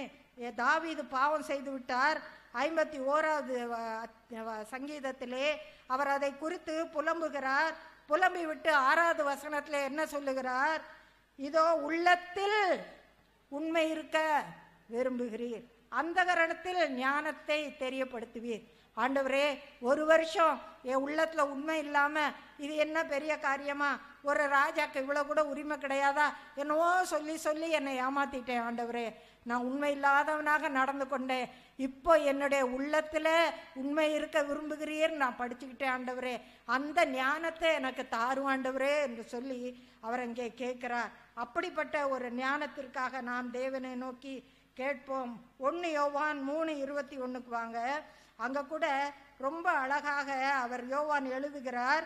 ஒன்று யோவான் மூன்று இருபத்தி ஒன்று பிரியமானவர்களே நம்முடைய இருதயம் நம்மை குற்றவாளிகள் என்று தீர்க்காதிருந்தால் நாம் தேவனிடத்தில் தைரியம் கொள்ளலாம். நம்முடைய இருதயம் நம்ம குற்றவாளி என்று சொல்லி தீர்க்கக்கூடாதாம் இதைத்தான் யோபுவுடைய வாழ்க்கையிலே நாம் பார்க்கிறோம். யோபு இருபத்தி ஏழாவது அத்தியாயத்திற்கு வாருங்கள். யோபு தன்னை குறித்து என்ன சொல்லுகிறான் என்று பாருங்கள். நமக்கே எவ்வளவு ஆச்சரியமா இருக்கிறது. அப்படியும் கூட ஒரு மனிதன் இந்த உலகத்திலே இருந்திருக்கிறானே என்று சொல்லி ஆச்சரியப்படுவோம். அந்த யோபு மற்றவர்களை குறித்து பார்க்கவில்லை. தன்னுடைய இருதயத்தை அவன் எப்படி வைத்திருந்தான்? ஆறாவது வசனத்திலே பாருங்கள். என் நீதியை கெட்டியாய் பிடித்திருக்கிறேன். அதை நான் விட்டுவிடேன். நான் உயிரோடு இருக்கும் அளவும் என் இருதயம் என்னை நிந்திக்காது. அவனுடைய இருதயம் அவனை குற்றம் சாட்டவில்லையாம். முப்பத்தி ரெண்டு யோபு முப்பத்தி ரெண்டு முதலாவது வசனம் பாருங்க. யோபு தன் பார்வைக்கு நீதிமானா இருந்தபடியால். பாருங்க தனக்கு முன்பாக அவன் நீதிமானாக இருந்தான். நான்காவதாக பிசாசுக்கு முன்பாக நாம் நீதிமான்களாக இருக்க வேண்டும். அந்த பிசாசு யோபுவை குற்றம் சாட்டுவதற்காக வந்தான். அங்கே குற்றம் சாட்டுவதற்கு யோபுவின் இடத்துல ஒன்றுமே இல்லை. அவன் சொன்னா இப்படி செஞ்சு பாருங்க ஆண்டவரே அப்படி செஞ்சு பாருங்க ஆண்டவரே. அவன் தப்பு பண்ணிடுவான் என்று சொன்னான். யோபுவின் இடத்துல அவனால பாவம் என்று சொல்லி ஒன்றையும் கண்டுபிடிக்கவே முடியவில்லை. யோவான் பதினாலாவது அத்தியாயத்திலே முப்பதாவது வசனத்திலே இயேசு என்ன சொல்லுகிறார்? பார்ப்போமா? இனி நான் உங்களுடனே அதிகமாய் பேசுவதில்லை. இந்த உலகத்தின் அதிபதி வருகிறான். அவனுக்கு என்னிடத்தில் ஒன்றுமே இல்லை ஒன்றும் இல்லை. ஒன்று கூட. அப்படி நம்ம பிசாசுக்கு சவால் விட முடியுமா? ஏன்ட்ட ஏதாவது இருக்குதான்னு சொல்லி பாரு என்று சொல்ல முடியுமா? யாக்கோபுக்கு பன்னெண்டு பிள்ளைங்க இருந்தாங்க. அதில் ஒரு பையன்தான் வந்து உண்மை ஒரு பரிசுத்தமாய் நடந்து கொண்டான். அவை மூலமாக தான் எழுப்புதல் வந்தது. அந்த யோசைப்பு மூலமாக தான் எழுப்புதல் வந்தது. கெட்டகுமாரன் என்ன சொன்னான்? நான் எழுந்து என் தாப்பனிடத்திலே போவேன் என்று சொன்னான். இப்படியாக நாம் எழுந்து நம் தாப்பனிடத்திலே வருவோம். அப்படியானால் தான் சொல்லுவார் என் மகனாகிய இவன் மறித்தான் ஆனால் பிழைத்திருக்கிறான் என்று சொல்லி சொல்லுவார். அருமையானவர்களே நம்ம செத்திருக்கலாம் ஆனால் பிழைத்திருக்க வேணுமானால் நாம் எழுந்து ஆண்டவரிடத்திலே போக வேணும் சங்கீதக்காரன் என்ன சொல்லுகிறார் என்று பாருங்கள் சங்கீதம் நூற்றி முப்பத்தி ஒன்பதிலே அவர் மற்றவர்களுக்காக இப்போது ஜெபம் பண்ணவில்லை தனக்காக அவர் ஜெபம் பண்ணுகிறார் தன்னுடைய இருதயத்தை அவர் ஆண்டவருக்கு திறந்து காட்டுகிறார். என்ன சொல்லுகிறார்? தேவனே என்னை ஆராய்ந்து பாரு ஆண்டவரே. என் இருதயத்தை அறிந்து கொள்ளும் ஆண்டவரே. என்னை சோதித்து பாரு ஆண்டவரே. என் சிந்தனைகளை அறிந்து கொள்ளும் ஆண்டவரே. வேதனை உண்டாக்கும் வழி என்னிடத்தில் உண்டோ என்று பார்த்து அடுத்தாப்புல தான் எழுப்புதல் வருது பாருங்க. நித்திய வழியிலே என்னை நடத்தும். அந்த பரிசு வந் பரிசுத்தம் வந்த உடனே எழுப்புதல் பாதையிலே நடத்தும்படியாக அவர் கேட்கிறார். நம்முடைய இருதயத்திலே ஒரு ஜன்னல் இருக்குமானால் அதை தேவனுக்கு நாம் திறந்து காட்டுவோம். திறந்து காட்டி தேவனிடத்துல கேட்போம் ஆண்டவரே பாரு ஆண்டவரே. ஒரு பக்தன் இருந்தார். நம்முடைய அண்ணன் எபில் ஜெபசிங் ஒரு அருமையான பாடலை பாடினார். அந்த பாட்டை நம்ம எல்லாரும் சேர்ந்து பாடுவோமா? பாரும் தந்தையே எந்தன் உள்ளத்தை யாரும் காண உள்ளலங்கோ உள்ளத்தை பாரும் தந்தையே எந்தன் உள்ளத்தை யாரும் காணா உள்ள மானம் நொந்து மருளுகின்றேன் மானுஷ்டம் கெஞ்சுகின்றே. மானம் நொந்து மருளுகின்றே. பரிசுத்தம் கெஞ்சுகின்றே. மெய்யாகவே மனம் நொந்து பரிசுத்தத்துக்காக கெஞ்சி இன்னொரு இது கூட நம்ம பாடலாம். துணை வேண்டும் தகப்பனே உலகிலே என்னை எதிர்க்கும் சக்திகள் பல உண்டு. துணை வேண்டும் தகப்பனே உலகிலே என்னை எதிர்க்கும் சக்திகள் பல உண்டு. என் ஜீவன் எல்லை எங்கிலும் பரிசுத்தம் என எழுதும். என் ஜீவன் எல்லை எங்கிலும். பரிசுத்தம் என எழுதும். அருமையானவர்களே இப்படிப்பட்ட ஒரு பரிசுத்தத்திற்காக நாம் தேவனை நோக்கி பார்ப்போம். நம்முடைய ஜீவன் எல்லா எல்லா இடத்துலையும் ஆண்டவர் பானையில அடுப்படியில குதிரைகளின் மணியில பரிசுத்தம் பரிசுத்தம். கர்த்தருக்கு பரிசுத்தம் என்று சொல்லி நம்ம எழுத சொல்லுவோமா? அவர் சொல்லுகிறார் பக்தன் சொல்லுகிறார். என்னை எதிர்க்கும் சக்திகள் பல உண்டு. இப்படிதான் நம்முடைய பரிசுத்தத்தை எதிர்க்கிற சக்திகள் நிறைய இருக்கு. எல்லாத்தையும் மீறி பரிசுத்த வாழ்க்கைக்குள்ளாக நாம் கடந்து போவோம். இரண்டாவதாக நாம் நம்முடைய வாழ்க்கையிலே இன்னொரு பகுதியிலே ஒரு எழுப்புதலை நாம் காண வேணும். அதுதான் ஜப வாழ்க்கை. வாலிபர் கவனிங்க ஜப வாழ்க்கையில் எவ்வளவு நம்ம சோர்ந்து போகிறோம் இல்லையா? நம்ம வந்து முட்டி போடுறோம் தூங்கி போயிடுறோம். எத்தனை பேர் ஜபத்தில் தூங்குறீங்க? உண்மையாக கை தூக்குங்க பார்க்கலாம். உண்மைதான். நான் கூட தூங்குறேன் தான் அப்பப்போ அப்பப்போ மனசு எங்கேயாவது போயிடுது திரும்ப அந்த மனசை கொண்டாந்து அந்த ஜபத்தில் நம்ம வைக்க வேண்டியதாக இருக்குது. இது உங்கள் போராட்டம் ஏன் போராட்டம் இல்லை. எல்லாருடைய போராட்டம் தான். ஏசாய அறுபத்தி நாலுக்கு வாங்க. அங்கே சொல்லுகிறார் உமது நாமத்தை நோக்கி கூப்பிடுகிறவன் இல்லையே இதுதான் ஜெபம். அவருடைய நாமத்தை நோக்கி கூப்பிடுகிறவன் தனிப்பட்ட விதத்தில் தனி ஜெபத்தை குறித்து சொல்லப்பட்டிருக்கிறது. அங்கே அவ அடுத்தபடி என்னது? உண்மை பற்றி கொள்ளும்படிக்கு. ஜபம் பண்ணாதான் நீங்கள் ஆண்டவரை பற்றி கொள்ள முடியும். ஜபம் இல்லைன்னா நம்ம ஆண்டவரை பற்றி கொள்ள முடியாது. ஜபத்தில் ஒரு எழுப்புதல் வேணும்னு சொன்னால் ஜெபிக்கணும் ஜெபிக்கணும் ஜெபிக்கணும். அதுக்கு வேற வழியே கிடையாது. தூங்கி தூங்கி ஜெபிக்கணும். மனசை அலைய அலைய திரும்ப வந்து ஜெபிக்கணும். போராடி போராடி ஜெபிக்கணும். ஆண்டவர்கிட்ட கெஞ்சி கெஞ்சி முடியலையா? ஆண்டவரேன்னு ஜெபிக்கணும். ஜபிச்சுட்டே இருங்க. ஜெபத்தில் உங்களுக்கு ஒரு எழுப்புதல் வரதான் செய்யும். அதுக்கு வேறு வழி கிடையாது. ஆதி ஆகமும் முப்பத்தி ரெண்டாவது வசனத்துக்கு வாங்க. தனி ஜபத்தை குறித்த அழகான ஒரு படம் ஒன்று அங்கே இருக்கிறது. அங்கே யாக்கோபு பயணப்பட்டு போகிறான். அவனுடைய உள்ளம் நடுங்கி கொண்டிருக்கிறது. அவனுடைய எழுப்புதல் எல்லாம் அணைஞ்சு போயிட்டு முப்பத்தி ரெண்டாவது அத்தியாயத்தில் முதலாவது வசனத்தை பாங்க அங்கே தேவதூதர்கள் அவனை சந்தித்தார்கள். அது போதும்னு சொல்லி அவன் நினைக்கல. ஏழாவது வசனத்தில் அவனுடைய நிலைமை குறித்து நம்ம பார்க்குறோம். அப்போது யாக்கோபு மிகவும் பயந்து வியாகுலப்பட்டு அவனுடைய நிலைமையை பார்க்குறீங்களா? எவ்வளவு அவன் கவலைப்பட்டு வியாகுலப்படுறான்னு பாருங்கள் அதுக்குபடியாக ஒன்பதாவது வசனத்தில் பார்த்தீங்கன்னா அவன் ஆண்டவருடைய வாக்கு தத்தங்களை நினைவூட்டுகிறான். உன் தேசத்துக்கும் உன் இனத்திற்கும் திரும்பி போ உனக்கு நன்மை செய்வேன் என்று என்னுடனே சொல்லி இருக்கிற கர்த்தாவே அங்கே தன்னையே அவன் ஆண்டவருடைய வாக்கு தத்தங்களை சொல்லி அவன் உற்சாகப்படுத்துகிறான். இருபத்தி மூணாவது வசனத்துக்கு வாங்க. அவர்களையும் சேர்த்து ஆற்றை கடக்க பண்ணி தனக்கு உண்டான யாவரையும் அக்கறைப்படுத்தினான். அடுத்து இருபத்தி நாலு யாக்கோபு பிந்தி தனித்திருந்தான். இது ஏதோ எகஸ்மாத்தா அகஸ்மாத்தா நடந்த ஒரு காரியம் கிடையாது. வேணும்னே தான் தனியாக இருக்கணும்னு சொல்லியே என்ன பண்ணுறான் எல்லாரையும் அனுப்பிவிட்டு ஒருத்தர் கூட இல்லை. தனியாக அந்த ராத்திரியில் அந்த இருட்டில் அவன் தனியாக ஆற்றுக்கு இந்த பக்கம் இருக்கிறான். இதை தான் புதிய ஏற்பாடு சொல்லுது. உன் அறை வீட்டுக்குள் பிரவேசித்து உன் கதவை நோக்கி பூட்டி அந்த ரங்கத்தில் இருக்கிற பிதாவை நோக்கி ஜெபம் பண்ணு. இதுதான் தனித்திருக்கிற ஒரு ஜெபம். சரி அவன் வந்து போனான் இல்லையா? அப்படி போகும்போது என்ன நடந்ததுன்னு பார்க்கலாம். அது வந்து ஒரு யாரோ ஒருத்தர் வர்றார். வந்து அவன் கிட்ட வர்றாரு. அவன் என்ன பண்ணான் அவரை பிடிச்சுக்கிட்டான். பிடிச்சுக்கிட்டு போராடுறான். சண்டை போடுறான். இது தனியாக கை கலக்கிறது. கூட்டம் கிடையாது. ஒருத்தரும் ஒருத்தரும் சேர்ந்து சண்டை போடுற ஒரு அனுபவம். யாக்கோபு அவரை பற்றி கொண்டா உங்களுக்கு ஒரு கேள்வி கேட்க விரும்புகிறேன். யாக்கோபு அழுதானா இல்லையா? சொல்லுங்க பார்க்கலாம். யாரெல்லாம் சொல்றீங்க யாக்கோபு அழுதான்னு சொல்லி கை தூக்குங்க. வசனம் சொல்லுங்க பார்க்கலாம்.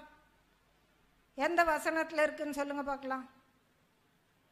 என்ன எல்லா கையும் கீழே போயிருச்சு?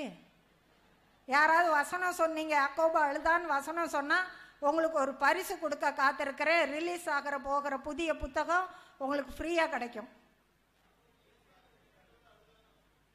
யாக்கோபு அல்ல அல்ல இப்போ சண்டை போடும்போது. வாங்க ஓசியாவுக்கு வாங்க. ஓசியா புத்தகத்திலே பன்னிரெண்டாவது அத்தியாயத்துக்கு வாங்க.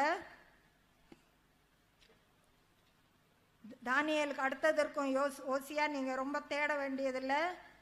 பன்னெண்டாவது அத்தியாயத்தில் நாலாவது வசனத்தை பாருங்க அங்கே. அந்த சம்பவத்தை தீர்க்கதரிசி எழுதுகிறார். அவன் தூதனானவரோடே போராடி மேற்கொண்டான். அழுது அவரை நோக்கி கெஞ்சினான். பார்த்தீங்களா அவன் சும்மா வந்து அங்கே போராடல. அழுது அவரை நோக்கி கெஞ்சினானா அந்த அந்த தேவதூதன் ஆனவர் அப்படின்னு போட்டிருக்கு. பொதுவாகவே அதை தேவனுடைய குமாரன் என்று சொல்லி எல்லாரும் ஒத்துக்கொள்ளுகிறார்கள். அங்கே வந்து அவனை விட்டு போக முடியலன்னு என்ன பண்ணுறாரு அவனுக்கு ஒரு சுளுக்கை கொடுக்குற. அந்த சுளுக்கு பொதுவாக சுளுக்கு வந்துச்சுன்னா என்ன பண்ணுவீங்க? ஐயோன்னு சொல்லிட்டு என்ன பண்ணுவோம்? டப்புன்னு கையை விட்டுருவோம்ல. ஆனால் யாக்கோபு என்ன பண்ணான் தெரியுமா? சுளுக்கு நான் சுளுக்கிட்டு போது நான் உங்களை விட மாட்டேன் சுளுக்கு ஒரு பக்கம் இருக்குது. ஆண்டவர் அவன் என்ன பண்ணல? நீ சுளுக்கு கொடுத்தாலும் கொடுங்க நீங்கள் நான் அடித்தாலும் அடிங்க நான் உங்களை விடுற மாதிரி இல்லை என்று சொல்லி அவன் இப்போ இறுக்கமாக அங்கே பிடித்துக்கிட்டான். இந்த ஒரு சோர்வு அவனை சளைக்க பண்ணவே இல்லை. பாருங்க அவனை அமைதிப்படுத்தவே இல்லை. இது டக்குன்னு சொல்லி ஆன்சர் வரல. நீர் என்ன ஆசீர்வதிங்க ஆசீர்வதிங்க என்று சொல்லுகிறான்.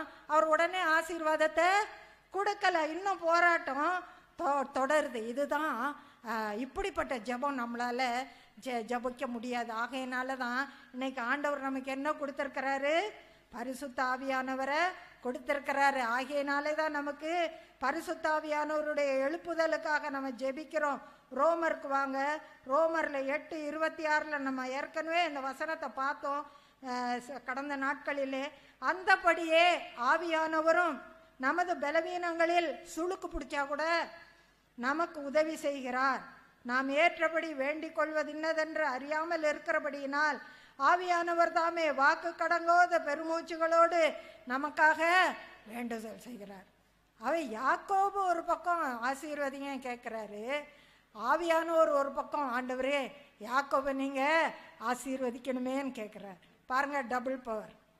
ஆவியானவர் நமக்காக விண்ணப்பம் பண்ணுங்க. அந்த பலன் நமக்கு கிடைக்கும். அந்த விண்ணப்பத்தின் ஆவிக்காக நீங்க ஜெபம் பண்ண வேண்டும். இதுதான் பரத்திலிருந்து வருகிற ஒரு உன்னத பலன். பாருங்க பொதுவாகவே இப்படி ஜெபத்தில் போராடுறவங்களுக்கு ஒரு கஷ்டம் இருக்கும். சூளுக்கோ ச உடல் பலவீனமோ குடும்பத்தில் பிரச்சனையோ ஆஃபீஸில் பிரச்சனை எதையோ ஒன்று இருக்க தான் செய்யும். ஆனால் அதனால் நாம் சோர்ந்து போயிடவே கூடாது. அவன் எப்படி யாக்கோப்பு பிடித்து கொண்டான் அப்படியாக பிடித்து கொள்ள வேணும். எதற்காக அங்கே அவர் வந்து இப்படி சுழுக்க கொடுக்குறார் நாம் பார்ப்போம். இந்த ஜெபத்தில் வந்து ரெண்டு அதிசயம் இருக்கிறது. அதை நான் விளக்குறேன். கவனிச்சுக்கோங்க புரிஞ்சுக்கிட்டீங்கன்னா உங்களுக்கு ஜெப வாழ்வில் ஒரு எழுப்புதல் வரும். முதலாவதாக நம்ம எப்பப்போ ஜெபம் பண்ணணும்னு சொல்லி முட்டி போடுறோமோ தனிச்சு போகிறோமோ நடக்கிறோமோ உடனே அங்கேருந்து ஒருத்தர் வர்றார். யார்? ஆண்டவர் நம்மிடத்துல பக்கத்தில் நம்ம பிடிச்சு கொள்ளக்கூடிய தூரத்தில் வந்துடுறாரு வா எடுத்து பாருங்க உபாகமம் நாலாவது அத்தியாயத்தில் ஏழாவது வசனத்தை பாருங்க. உபாகமம் நாலு ஏழு. அங்கே ஒரு அழகான வாக்கு தத்துவம் நம்முடைய தேவனாகிய கர்த்தரை நாம் தொழுது கொள்ளும் போதெல்லாம் ஆங்கிலத்தில் கூப்பிடும் போதெல்லாம் என்று இருக்கிறது. தமிழில் தொழுது கொள்ளும் போதெல்லாம் அவர் நமக்கு சமீபமாய் இருக்கிறது போல தேவனை இவ்வளவு சமீபமாய் பெற்றிருக்கிற வேறு பெரிய இனம் யார்? யாருமே கிடையாது. நம்முடைய ஒரே தேவன். நம்ம மாத்திரம்தான் ஜெபம் பண்ணணும்னு நினச்சிட்டோன்னா நம்ம கிட்ட வந்து என்னை பிடிச்சிக்கோன்னு சொல்லி அவ்வளோ பக்கத்தில் ஆண்டவர் வந்து நிற்கிறார். எவ்வளோ பெரிய அதிசயம் பார்த்தீங்களா? எதுக்காக யாக்கோ போகும்போது அவர் வந்து அவ்வளோ கிட்ட வர்றாரு. அவர் தான் சொல்கிறாருல என்னை விட்டுரு என்னை விட்டுரு நான் போகணும். விடியுது நான் போகணும்னு சொல்கிறாரு அப்பயும் அவ்வளோ கிட்ட வந்தார்? யோசித்து பார்த்தீங்களா? அவரால் கிட்ட வராமல் இருக்க முடியாது.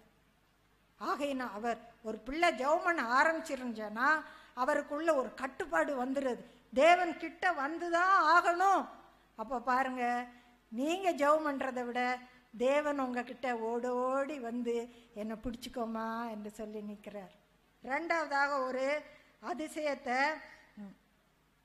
அப்போ ஜெபத்தில் நம்ம பார்க்குறோம். அது என்னன்னு சொன்னால் அவர் நம்ம ஜெபம் பண்ணும்போது அவர் போகவே முடியாது. நம்மளை விட்டு போகவே முடியாது.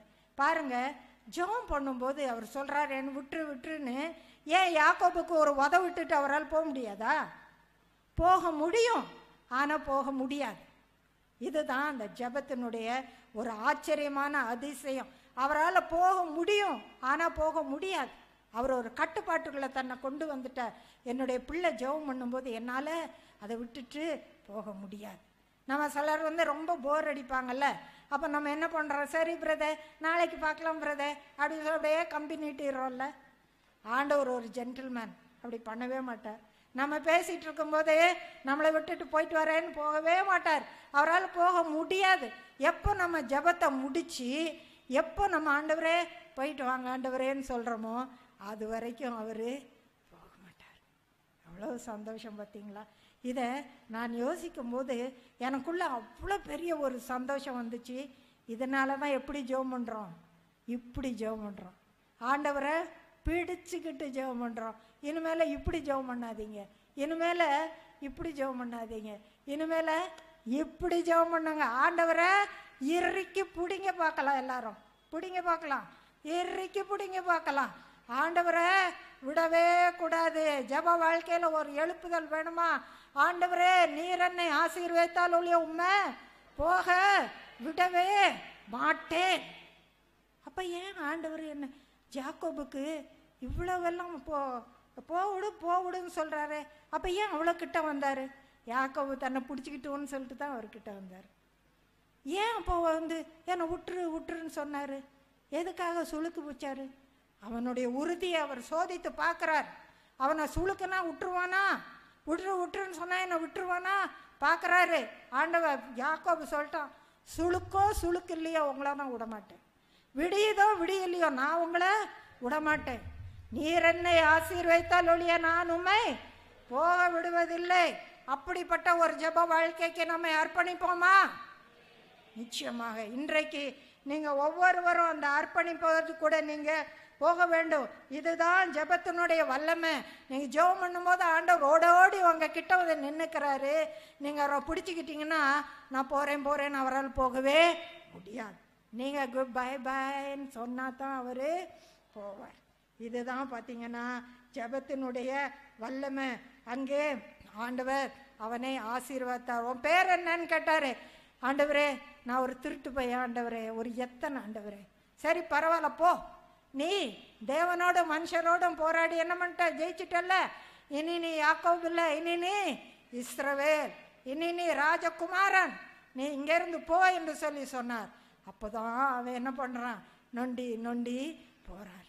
அப்பா இவனை தேவனோடும் மனுஷரோடும் போராடி மேற்கொண்ட ஆண்டவரை ஜெயிச்சிட்டான் ஏசாவையும் இப்போ அவன் ஜெயிச்சிட்டான் இங்கேருந்து நம்ம போகும்போது ஒவ்வொருத்தரும் ஒரு இஸ்ரவேலாக நாம் இங்கேருந்து கடந்து போக வேண்டும்.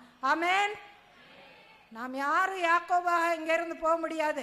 நாம் தனிப்பட்ட வாழ்க்கையிலே ஜபிக்கும் போது அங்கே ஒரு பரிசுத்த கிரியை அங்கே பார்க்குறோம். நாம் பரிசுத்தம் பண்ணப்படுகிறோம். நம்முடைய எத்த குணம் மாறி ஒரு இஸ்ரவேலாக நாம் மாறுகிறோம். அங்கே யாக்கோவை நொண்டி நொண்டி போகிறான். அவன் வந்து ஐயோ என் காலு சுளுக்கிக்கிச்சே. ஐயோ அம்மா அப்பா. அப்படியே போயிருப்பான். இல்லை எனக்கு நான் கேட்ட ஆசீர்வாதம் எனக்கு கிடச்சி காலை சுழுக்குனா என்ன கையை சுழுக்குனா என்ன? எனக்கு வேண்டிய ஆசீர்வாதம் எனக்கு கிடச்சிருச்சு. ஸ்தோத்திரம் ஆண்டவரே. நான் நொண்டி நொண்டி போவேன். நான் ஸ்தோத்திரம் பண்ணி பண்ணி போவேன். இப்படி தான் விசுவாசிகளுடைய வாழ்க்கையிலே எத்தனை பிரச்சனை இருந்தாலும் அவங்க எனக்கு கேட்ட ஆசீர்வாதம் கிடைச்சதா அது போதும். என்ன இருந்தால் என்னன்னு சொல்லி முன்னேறி போவாங்க. இன்னைக்கு எங்கே காணானியரை தேடி பாருங்க. காணான்னு அட்ரஸ் போட்டு பாருங்க. அவனுக்கு அட்ரஸே கிடையாது. பெருசியரை தேடி பாருங்க. பெருசியர் கிடையாது. ஏத்தித்தியரை தேடி பாருங்க. ஏத்தித்தியர் கிடையாது. இஸ்ரவேல் இருக்கிறானா? இருக்கிறான். திடமாக இருக்கிறான். உலகத்தின் நடுவிலே உட்கார்ந்து கொண்டு இருக்கிறான். அவனை சுற்றி எதிரிங்க பாம்பு போடுறாங்க. அவன் போட்டுப்பார். என்னோடு கூட ஆண்டவர் பயங்கர பராக்கிரமசாலியாக இருக்கிறான் என்ன இருக்கிறார் ஹalleluya. ஆண்டவர் தேவன் எவ்வளோ பெரிய காரியங்களை நமக்காக செய்ய வல்லவராக இருக்கிறார். இப்படிப்பட்ட ஜப வாழ்க்கையிலே நாம் சோர்ந்து போகாமல் இருப்போமாக. அருமையானவர்களே கொலோசேயர் நாலு பன்னெண்டுல பார்த்தோமானால் அங்கே எப்பாப்ரா சொல்லுகிறார் உங்களுக்கு உங்களுக்காக அவன் போராடி ஜெபிக்கிறான். இதுதான் போராடி ஜெபிக்கிற ஒரு ஜெபம். அதே போல நம்முடைய ஆண்டவராகிய இயேசு கிறிஸ்து எப்படி ஜெபிச்சாருன்னு சொல்லி எபிரேயர் ஐந்து ஏழில் பாருங்க. அவர் மாம்சத்தில் இருந்த நாட்களில் அவர் கடவுளாக இருந்த போது இல்லை பரலோகத்தில் இருந்த போது இல்லை நம்மளைப் போல உங்களைப் போல என்னை போல இருந்த நாட்களில் தூங்கிடக்கூடாதே என் மனசு எங்கேயும் போயிடக்கூடாதே அப்படின்னு என்ன பண்ணாராம்? உரத்த சத்தமாய் பலத்த சத்தத்தோடும் கண்ணீரோடு விண்ணப்பம் பண்ணி யாக்கோவை அழுது ஜோம் பண்ண மாதிரி அவன் கண்ணீர் விட்டு ஜோம் பண்ணாராம். ஏசு கிறிஸ்து உரத்த சத்தம் போட்டு அவர் ஜோம் பண்ணாராம். இப்படியாக யாக்கோபு தன்னை தேவனை பற்றி கொள்ளும்படியாக அவன் விழித்து கொண்டான். ஆண்டவராகிய இயேசு கிறிஸ்து அப்படியாக ஜோம் பண்ணார். ரொம்ப அழகான ஒரு வசனம். எப்படி எழுப்புதல் வந்ததுன்னு பாருங்க. ஆதியாகமும் முப்பத்தி ரெண்டாவது வசனத்திலே யாக்கோபு அங்கே நொண்டி நொண்டி போகிறான் சரித்திரத்தில் அவன் வாழ்க்கை முழுசும் நொண்டுனான்னு சொல்லப்பட்டிருக்கிறது. ஆகையினால் வாழ்க்கை முழுசும் இருக்கிற பிரச்சனை இருந்தால் கூட கவலைப்படாதீங்க. முப்பத்தி ஓராவது வசனத்தை பாருங்க. அவன் பெனியலை கடந்து போகையில் சூரியன் உதயமாயிற்று. இருளில் இருந்து ஒரு பெளிச் வெளி- பெரிய வெளிச்சம் அவனுக்கு கிடைச்சது. ஜீவன்லேருந்து அவன் பரிபூரண ஜீவனுக்கு வந்து சேர்ந்தான். அருமையானவர்களே வேதத்தின்படி ஜோம் பண்ணுங்க. கைகளை உயர்த்தி ஜெபம் பண்ணுங்க. முழங்கால் படியிட்டு ஜெபம் பண்ணுங்க. ராத்திரி விழித்து கொண்டீங்கன்னா உருண்டு உருண்டு உருண்டுட்டு கிடக்காதீங்க. ஆண்டவர் என்ன ஜெபிக்க சொல்லுகிறார். எழுந்த உடனே முழங்கால் போட்டு ஜெபம் பண்ணுங்க. வீட்டில் யாரும் இல்லையா? கதவை பூட்டிட்டு நெடுஞ்சாங்கடையா விழுங்க விழுந்து கத்தாவேன்னு சொல்லி ஜெபம் பண்ணுங்க. அப்படிதான் பரிசுத்தவான்கள் ஜெபம் பண்ணாங்க. ஜெபம் பண்ண முடியலன்னா இன்னொருத்தரை கூப்பிட்டு ரெண்டு பேராக சேர்ந்து ஜெபம் பண்ணுங்க. சத்தம் போட்டு ஜெபம் பண்ணுங்க. நடந்துக்கிட்டே ஜெபம் பண்ணுங்க. டைரியை எடுத்து வச்சுட்டு குறித்து வச்சுட்டு ஜெபம் பண்ணுங்க. நியூஸ் பேப்பரை விரித்து வச்சுட்டு ஜெபம் பண்ணுங்க. ஆண்டவரே மோடி அங்கே போகிறாரு மோடி சுவிட்சர்லாந்து போகிறாரே பிரசிடென்ட் ரஷ்யாவுக்கு போறாரு. ஆண்டவரே ஜெயலலிதா இங்கே போகிறாங்களே எது இது ஒன்று ஒன்றா சொல்லி சொல்லி சொல்லி ஜெபம் பண்ணுங்க. நீங்கள் சாதாரண ஜெபங்களுக்கு அசாதாரண ஜப விண்ணப்ப வி- விடைகள் கிடைக்கும்னு சொல்லி எதிர்பாராதீங்க. பவுலும் பேதுருவும் எப்பாப்ராவும் எப்படிப்பட்ட சூழ்நிலையில் கடந்து ஜெபம் பண்ணாங்க தெரியுமா? அடி வாங்கி கை கட்டவரா கப்பலில் கடந்துட்டு எங்கெங்கேயோ ஜோம் பண்ணாங்க. நம்மளால் ஏன் ஃபேனை போட்டு ஜோம் பண்ண முடியல? ஒரு ஜப எழுப்புதலோடு கூட இங்கேருந்து கடந்து போவோம். மூன்றாவதாக வேத வசனத்திலே ஒரு எழுப்புதல் நமக்கு வேண்டி இருக்குது. வாலிபர் உங்களை எச்சரிக்கிறேன். ஐந்து நிமிட வேத வாசிப்புன்னு ஒரு புத்தகம் வந்திருக்கு. அது தூர போட்டுருங்க. வேண்டாம். அப்படிப்பட்ட வேத தியானம் நமக்கு வேண்டாம். நம்ம ஆண்டவருடைய பாதத்தில் உட்கார்ந்து அவருடைய சத்தத்தை கேட்கிற ஒரு அனுபவத்துக்குள்ளாக வர வேணும். நிறைய செய்தி கேட்குறோம். நிறைய சீடி கேட்குறோம். ஆனால் ஆண்டவருடைய சத்தத்தை நாம் கேட்கிறோமா? மத்தையும் நாலு நாளுக்கு வந்தீங்கன்னா அங்கே நமக்கு தெரிஞ்ச வசனம் தான் மனுஷன் அப்பத்து நாள் மாத்திரமல்ல தேவனுடைய வாயிலிருந்து புறப்படும். ஒவ்வொரு வார்த்தையினாலும் பிழைப்பான். அங்கே தான் அவனுக்கு ஜீவன் வருது. எங்கேருந்து ஜீவன் வருது? தேவனுடைய வாயிலிருந்து புறப்படும் ஒவ்வொரு வார்த்தையினாலும் தான் அவனுக்கு ஜீவன் வருகிறது. நான் மறுபடியும் பிறக்கும்போது நமக்கு ஜீவன் வந்ததுன்னு சொன்னேன். அதுக்கப்புறமா பரிபூரண ஜீவன் வரணும்னா ஒன்று பேதுருல பேதுரு சொல்கிற மாதிரி நம்ம என்ன ப- செய்ய வேணுமா? திருவசனமாகிய ரெண்டாவது அத்தியாயத்தில் மூணாவது வசனம் திருவசனமாகிய நீங்கள் வளரும்படி புதிதாய் பிறந்த குழந்தைகளைப் போல திருவசனமாகிய களங்கமில்லாத ஞானப்பாலின் மேல் வாஞ்சியாயிருங்கள். அந்த ஆசை நமக்கு வேணும். ஆண்டவரே நீர் என்னோட பேச மாட்டீரான்ற ஒரு வாஞ்ச ஏன்? இந்த வசனம் தான் நம்மை உயிர்ப்பிக்கும். சங்கீதத்துக்கு வாங்க. சங்கீதத்தில் பத்தொம்போதாவது சங்கீதம். நிறைய பேர் மனப்போடமாக நீங்கள் படிச்சிருப்பீங்க. அதில் வசனத்தை குறித்து என்ன சொல்லுது? ஏழாவது வசனத்தில் ஆத்மாவை உயிர்ப்பிக்கிறதா இதான் எழுப்புதல். எட்டாவது வசனத்தை இருதயத்திலே சந்தோஷிப்பிக்கிறதாம். இதுதான் எழுப்புதல். வசனம் கொடுக்குற ஒரு எழுப்புதல். சங்கீதம் நூற்றி பத்தொம்போதுக்கு வந்தீங்கன்னா அங்கே தாவீது ஜெபிக்கிறார். நூற்றி நாற்பத்தி ஏழாவது வசனத்திலிருந்து வாசிக்கிறேன். அதிகாலையில் நான் எழுந்து சத்தமிட்டேன். அதாவது ஜெபம் பண்றார். என்ன ஜெபம்? உம்முடைய வசனத்துக்கு காத்திருக்கிறேன். கையில தான் இருக்குதே இந்த ஸ்தோல் சுருள் ஏன் காத்துட்டு இருக்கார் ஆண்டவர்கிட்ட வந்து தனக்கு கத்து கொடுக்கும்படியாக ஆண்டவருடைய சத்தத்தை கேட்கும்படியாக அவர் காத்து கொண்டு இருக்கிறாராம் அவர் சொல்லுகிறார் உமது வசனத்தை தியானிக்கும்படி குறித்த ஜாமங்களுக்கு முன்பே என் கண்கள் விழித்து கொள்ளும். உம்முடைய கிருபையின்படி என் சத்தத்தை கேளும். கர்த்தாவே உம்முடைய நியாயத்தின்படி என்னை உயிர்ப்பி பாருங்க அவர் வசனத்தை இப்போ கையில் வச்சுக்கிட்டு ஒரு எழுப்புதலுக்காக ஒரு உயிர் மீட்சிக்காக அவர் ஜெபிக்கிறார். இப்படியாக நாமும் கூட ஆண்டவரை பைபிளை திறந்து வச்சுட்டு ஆண்டவரே நீங்கள் வாங்க ஆண்டவரே உமக்காக நான் காத்திருக்கிறேன் ஆண்டவரே எனக்கு கற்றுக் கொடுங்க ஆண்டவரேன்னு சொல்லி சொல்வோமானால் என்ன நடக்குதுன்னு பாருங்க சங்கீதம் இருபத்தி ஒன்பதுக்கு வாங்க. அங்கே கர்த்தருடைய சத்தம் என்ன செய்யுதுன்னு சொல்லிட்டு பாருங்க.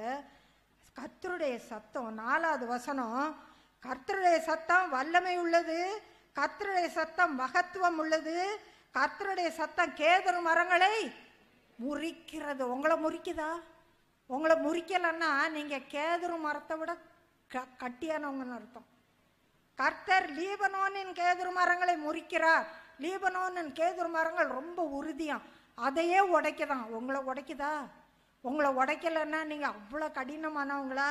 அது கன்று குட்டிகளை போலவும் அது என்ன பண்ணுதா? அக்கினி ஜுவாலைகளை பிளக்கிறது ஏழாவது வசனம்.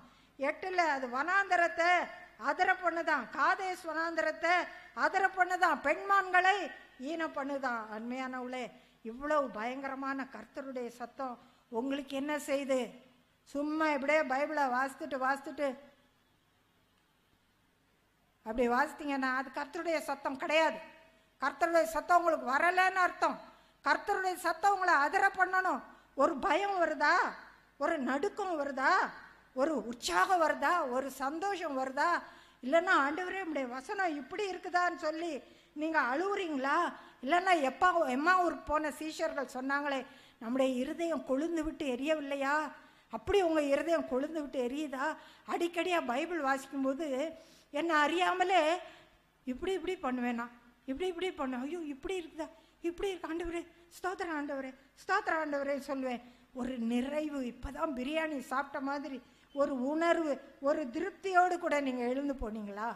ஒரு பைபிளில் நம்ம வசனத்திலே பிரயாசப்படணும்னு வசனம் சொல்லுது. பாருங்க நம்ம முயற்சி எடுக்கணும்.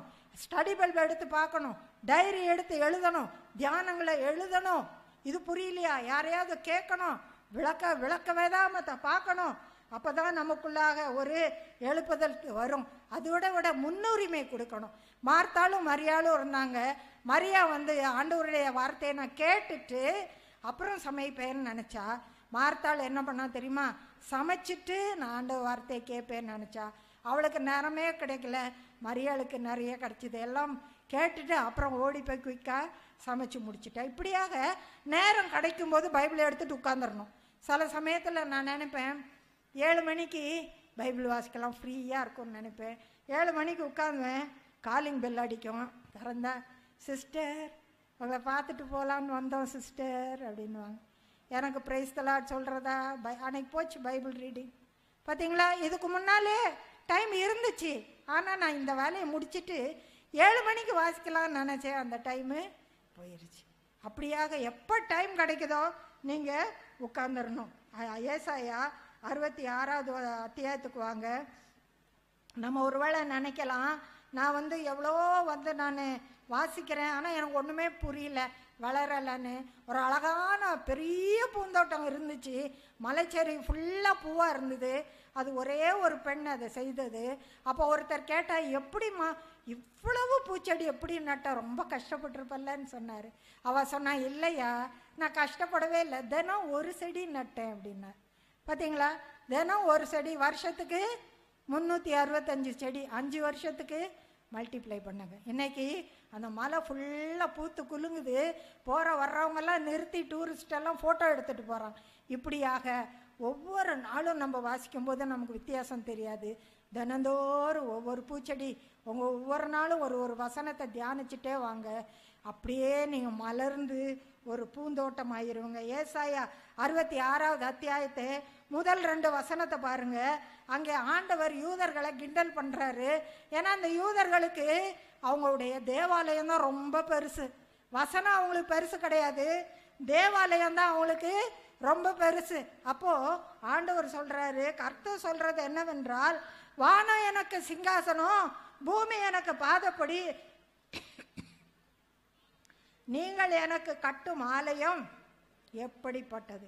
நான் தங்கி இருக்கும் ஸ்தலம் எப்படிப்பட்ட என்னத்த பெருசா எனக்கு கட்டிட போறீங்க? என் விரலால் உங்கள் ஆலயத்தை தூக்கிடுவேனே. என்னுடைய கரம் இவைகளையெல்லாம் சிருஷ்டித்தது. ஆனாலும் சிறுமைப்பட்டு ஆவியில் நொறுங்குண்டு என் வசனத்துக்கு நடுங்குறவனே நீ பெரிய பெரிய கோயில் கட்டலாம்ப்பா எனக்கு அது பெருசு இல்லை. என் வசனத்துக்கு நடுங்குறியா? வாங்க ஐந்தாவது வசனத்தை பாருங்க. கர்த்தருடைய வசனத்துக்கு நடுங்குகிறவர்களே ஆண்டவர் யார் இடத்துல பேசுறார் தெரியுமா? கர்த்தருடைய வசனத்துக்கு நடுங்கிறவங்ககிட்ட பேசுவார். சும்மா நான் பைபிள் எடுக்கிறேன்ட்டு ஆண்டவர் பேசவே இல்லை. ஏன் பேசலை? நீங்கள் நடுங்கலை. நீங்கள் ஆண்டவரே உங்களுடைய வார்த்தையின்படி செய்கிறேன்னு உங்களை ஒப்பு கொடுக்கல. எதுக்காக அவர் வேஸ்ட்டாக உங்கள்கிட்ட பேசணும்? நீங்கள் வசனத்துக்கு ஒப்பு கொடுங்க. நீ சொல்கிறபடி செய்வேன். ஆண்டவரே உடைய வசனத்துக்கு பயப்படுறேன்னு சொல்லுங்கள் ஆண்டவர் உங்களுக்கு வெளிப்பாடுகளை ஏராளமாக எடுத்து கொடுத்துக்கிட்டே இருப்பார். அடுத்தபடியாக நாம் நாலாவதாக ஊழியத்திலே ஒரு எழுப்புதலுக்காக நாம் பார்க்கலாம். என்னுடைய வாழ்க்கையிலே தனிப்பட்ட வாழ்க்கையிலே ஊழியத்திலே ஒரு எழுப்புதல் வர வேணும் என்று பார்க்க வேண்டும். வாலிபர் நிறைய பேர் இருக்கிறீங்க. வாலிபரே நான் இப்போ படிக்கிற காலம்னு நினைக்காதீங்க. நீங்கள் படிச்சுற காலத்திலே நீங்கள் ஊழியம் செய்யணும். நான் எப்போ ஊழியம் செய்ய ஆரம்பித்தேன் தெரியுமா? பதினாறாவது வயதிலே நான் ரட்சிக்கப்பட்டு மூணு வருஷத்திலே சண்டே கிளாஸ் ஆர எடுக்க ஆரம்பித்தேன். இன்றைக்கும் என்னுடைய ஊழியத்துக்கு அது ஒரு அடித்தளம் விட்டது சில பிள்ளைங்க வந்து சொல்லுவாங்க ஆண்டி உங்கள் ஊழியத்தில் அப்பா ஆண்டி இப்போ தான் பாட்டினா அப்போ வந்தா ஆண்டி உங்கள் சண்டே கிளாஸில் நான் ரட்சிக்கப்பட்டேன்னு சொல்லுவாங்க. அப்பா ஸ்தோத்திரம் ஆண்டவரே தெரிஞ்சிருந்தா இன்னும் நல்லா செஞ்சிருப்பனே என்று சொல்லி நான் நினைக்கிறேன். சங்கீதம் ஐம்பத்தி ஒன்றுக்கு வாங்க. இப்போ இந்த நாட்களிலேயே நீங்கள் உங்கள் ஊழியத்தை ஆரம்பிக்கணுன்றதுக்காக சொல்கிறேன் தாவீது பாவம் செய்துட்டா அவனை எழுப்புதெல்லாம் செத்து போயிடுச்சு அவர் என்ன சொல்கிறாரு பன்னெண்டாவது வசனத்திலே உமது ரட்சண்யத்தின் சந்தோஷத்தை திரும்பவும் எனக்கு தந்து உற்சாகமான ஆவி என்னை தாங்கும்படி செய்யும். ஒரு எழுப்புதலை தாங்க ஆண்டவரே அப்பொழுது பாதகருக்கு உமது வழிகளை உபதேசிப்பேன். பாவிகள் உம்மிடத்திலே மனம் திரும்புவார்கள் என்று சொல்லுகிறார். அப்போ சிலர் முதலாவது அத்தியாயத்திற்கு வாருங்கள். அங்கே சீடர்கள் வந்து ஆண்டவர் உயிர் தெழுந்து வந்த ஆண்டவரை சுற்றி கொள்றாங்க. அவங்களுக்கு ரொம்ப ஆசை என்ன தெரியுமா? எழுப்புதல் வேணும். ஏன்னா இப்போ ரோமர் ஆட்சிக்குள்ளே வந்துட்டாங்கல்ல அதெல்லாம் போய் முந்தி காலத்தில் இருந்த மாதிரி நாங்கள் இஸ்ரவேல் தேசமாகி நான் தாவிது போல் ஒருத்தர் வந்து எங்களுக்கு ஒரு ராஜா வேணும். ஆண்டவரே அந்த நாள் அந்த ராஜ்யத்தை இப்போமா திரும்பி தருவீங்க ஆண்டவரே என்று கேட்குறார் ஆண்டவர் சொல்கிறார் அதெல்லாம் பற்றி கவலைப்படாதீங்க. பரிசுத்தாவி உங்கள் மேலே வருவார் போய் எனக்கு சாட்சிகளாக இருங்கன்னு சொன்னார். சரிப்பா. எழுப்பதலோ இல்லையோ அதை பற்றி கவலை போய் வேலையை செய்யும் போய் சாட்சிகளானாங்க. என்ன வந்தது? பெரிய எழுப்புதல் வந்தது. அருமையானவங்களே எழுப்புதல் எழுப்புதல்னு பேசிகிட்டு இருக்கிறதோட போய் வேலையை பார்த்தீங்கன்னா எழுப்புதல் தன்னால் வரும். அதுதான் எழுப்புதலின் ரகசியம். பேச்சை விட்டு விட்டு நான் வேலையில் இறங்க வேணும். ரெண்டு தீமோத்தேயுக்கு வாங்க. முதலாவது அத்தியாயம். பவுல் அங்கே தீமோத்தேயுக்கு சில ஆலோசனை சொல்லி நினைப்பூட்டுகிறார். நம்ம கூட அடிக்கடி மறந்து போகிறோம். பவுலுங்க என்ன நினைப்பூட்டுகிறார் தீமோத்தேயுக்கு? அவன் ஒரு பயந்த சுவாபம் உள்ளவன் அவர் சொல்லுகிறார் இது நிமித்தமாக நான் உன்மேல் என் கைகளை வைத்ததினால் உனக்கு உண்டான தேவ வரத்தை நீ எல்லாம் ஒருமையில் பாருங்க. நீ அனல் மூட்டி எழுப்பி விடும்படி உனக்கு நினைப்பூட்டுகிறேன். அங்கே நிறைய கட்டை இருக்கு. அதுக்கு அடியில் ஒரு கங்கு இருக்குது. ஆனால் அந்த விறகு பத்திக்காது. அந்த கங்கு அணைஞ்சு போகும். என்ன பண்ணும் தெரியுமா? ஊதணும். ஹூ ஹூ ஹூன்னு ஊதாங்குழல் வச்சு ஊதுவாங்க. பார்த்துருக்கீங்களா? முந்தி காலத்தில் ஊதி ஊதுனா அந்த காற்று வந்த உடனே அது என்ன பண்ணும்? பத்திக்கும். இப்படியாக அனல் மூட்டி எழுப்பி விடணும். நம்ம காலையில் யாரெல்லாம் பரிசு தொகை பெற்றீங்க? கை தூக்கி காட்டுங்க பார்க்கலாம். Praise the Lord praise the Lord நிறைய பேர் அபிஷேகம் பெற்றிருக்கிறீங்க. ஆவியானவர் வரங்களெல்லாம் வெளியே வச்சுட்டு உங்களுக்குள்ளே வரல. எல்லா வரங்களோடு கூட தான் உங்களுக்குள்ளே வந்திருக்கிறார். ஆகையினால் அந்த வரத்தை நீங்கள் ஆனால் என்ன பண்ணணும்? இந்த வரங்களை நீங்கள் பயன்படுத்த ஆரம்பிக்கணும். எப்படி பயன்படுத்துறது? எங்கெங்கெல்லாம் சாட்சியாக இருக்க முடியுமோ எங்கெங்கெல்லாம் ஊழியம் செய்ய முடியும் ஊழியம் செஞ்சுக்கிட்டே இருக்கணும். நான் இங்கே வர்றதுக்காக ட்ரெயினில் ஏறி உட்காந்தேன் டிடி வந்தார். சார் தமிழ் பேசுவீங்களா சார்? அப்படின்னு. ஆமாம்மா தமிழ் தாம்மா சார் ஒரு புக்கு கொடுத்தா படிப்பீங்களா சார்? இன்னும் என் பக்கத்தில் உட்காந்துக்கிட்டார் படிப்பேம்மா உங்கள் ஆசீர்வாதத்தோடு படிப்பேன். அப்படின்னார். சார் சார் இந்த புக்கு படித்து பாருங்கள் சார். ரொம்ப நன்றிம்மா. அப்படி வாங்கிட்டு போகிறேன் ஒரு சின்ன சாட்சி.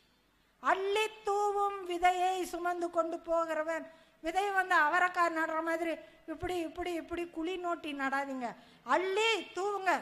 எங்கெங்க கொடுக்க முடியுமோ டிராக்ட் கொடுங்க. அள்ளி அள்ளி வசனத்தை தூவணும். அப்பதான் நிறைவான ஒரு அறுவடை நமக்கு கிடைக்கும். அப்படியாக தீமோத்திக்கு சொல்லுகிறார். அந்த வரத்தை நீ அனல் மூட்டி எழுப்பி விடு. எனக்கு கூட நான் ஜோமனா பிசாஸ் போகும்னு தெரியாது. ஒரு நாள் திடீர்னு ஜோம் பண்ணிட்டு இருக்கோம். அப்படியே அந்த பெண்கள் மத்தியில் எல்லாம் வேசிகள். அவங்களுக்கு சொல்லிட்டு இருக்கோம். ஒரு பிள்ளை அப்படியே உருண்டு உருண்டு.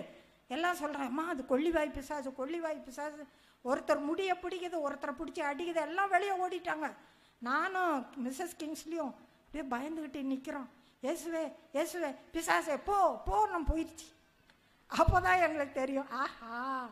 நமக்கு கூட பிசாசு துரத்துற வரோம் இருக்குது. பிரைஸ் த லார்ட் ஏங்கல்ல உ- அவங்களுக்கு இல்லை உங்கள் எல்லாருக்கும் இருக்குது.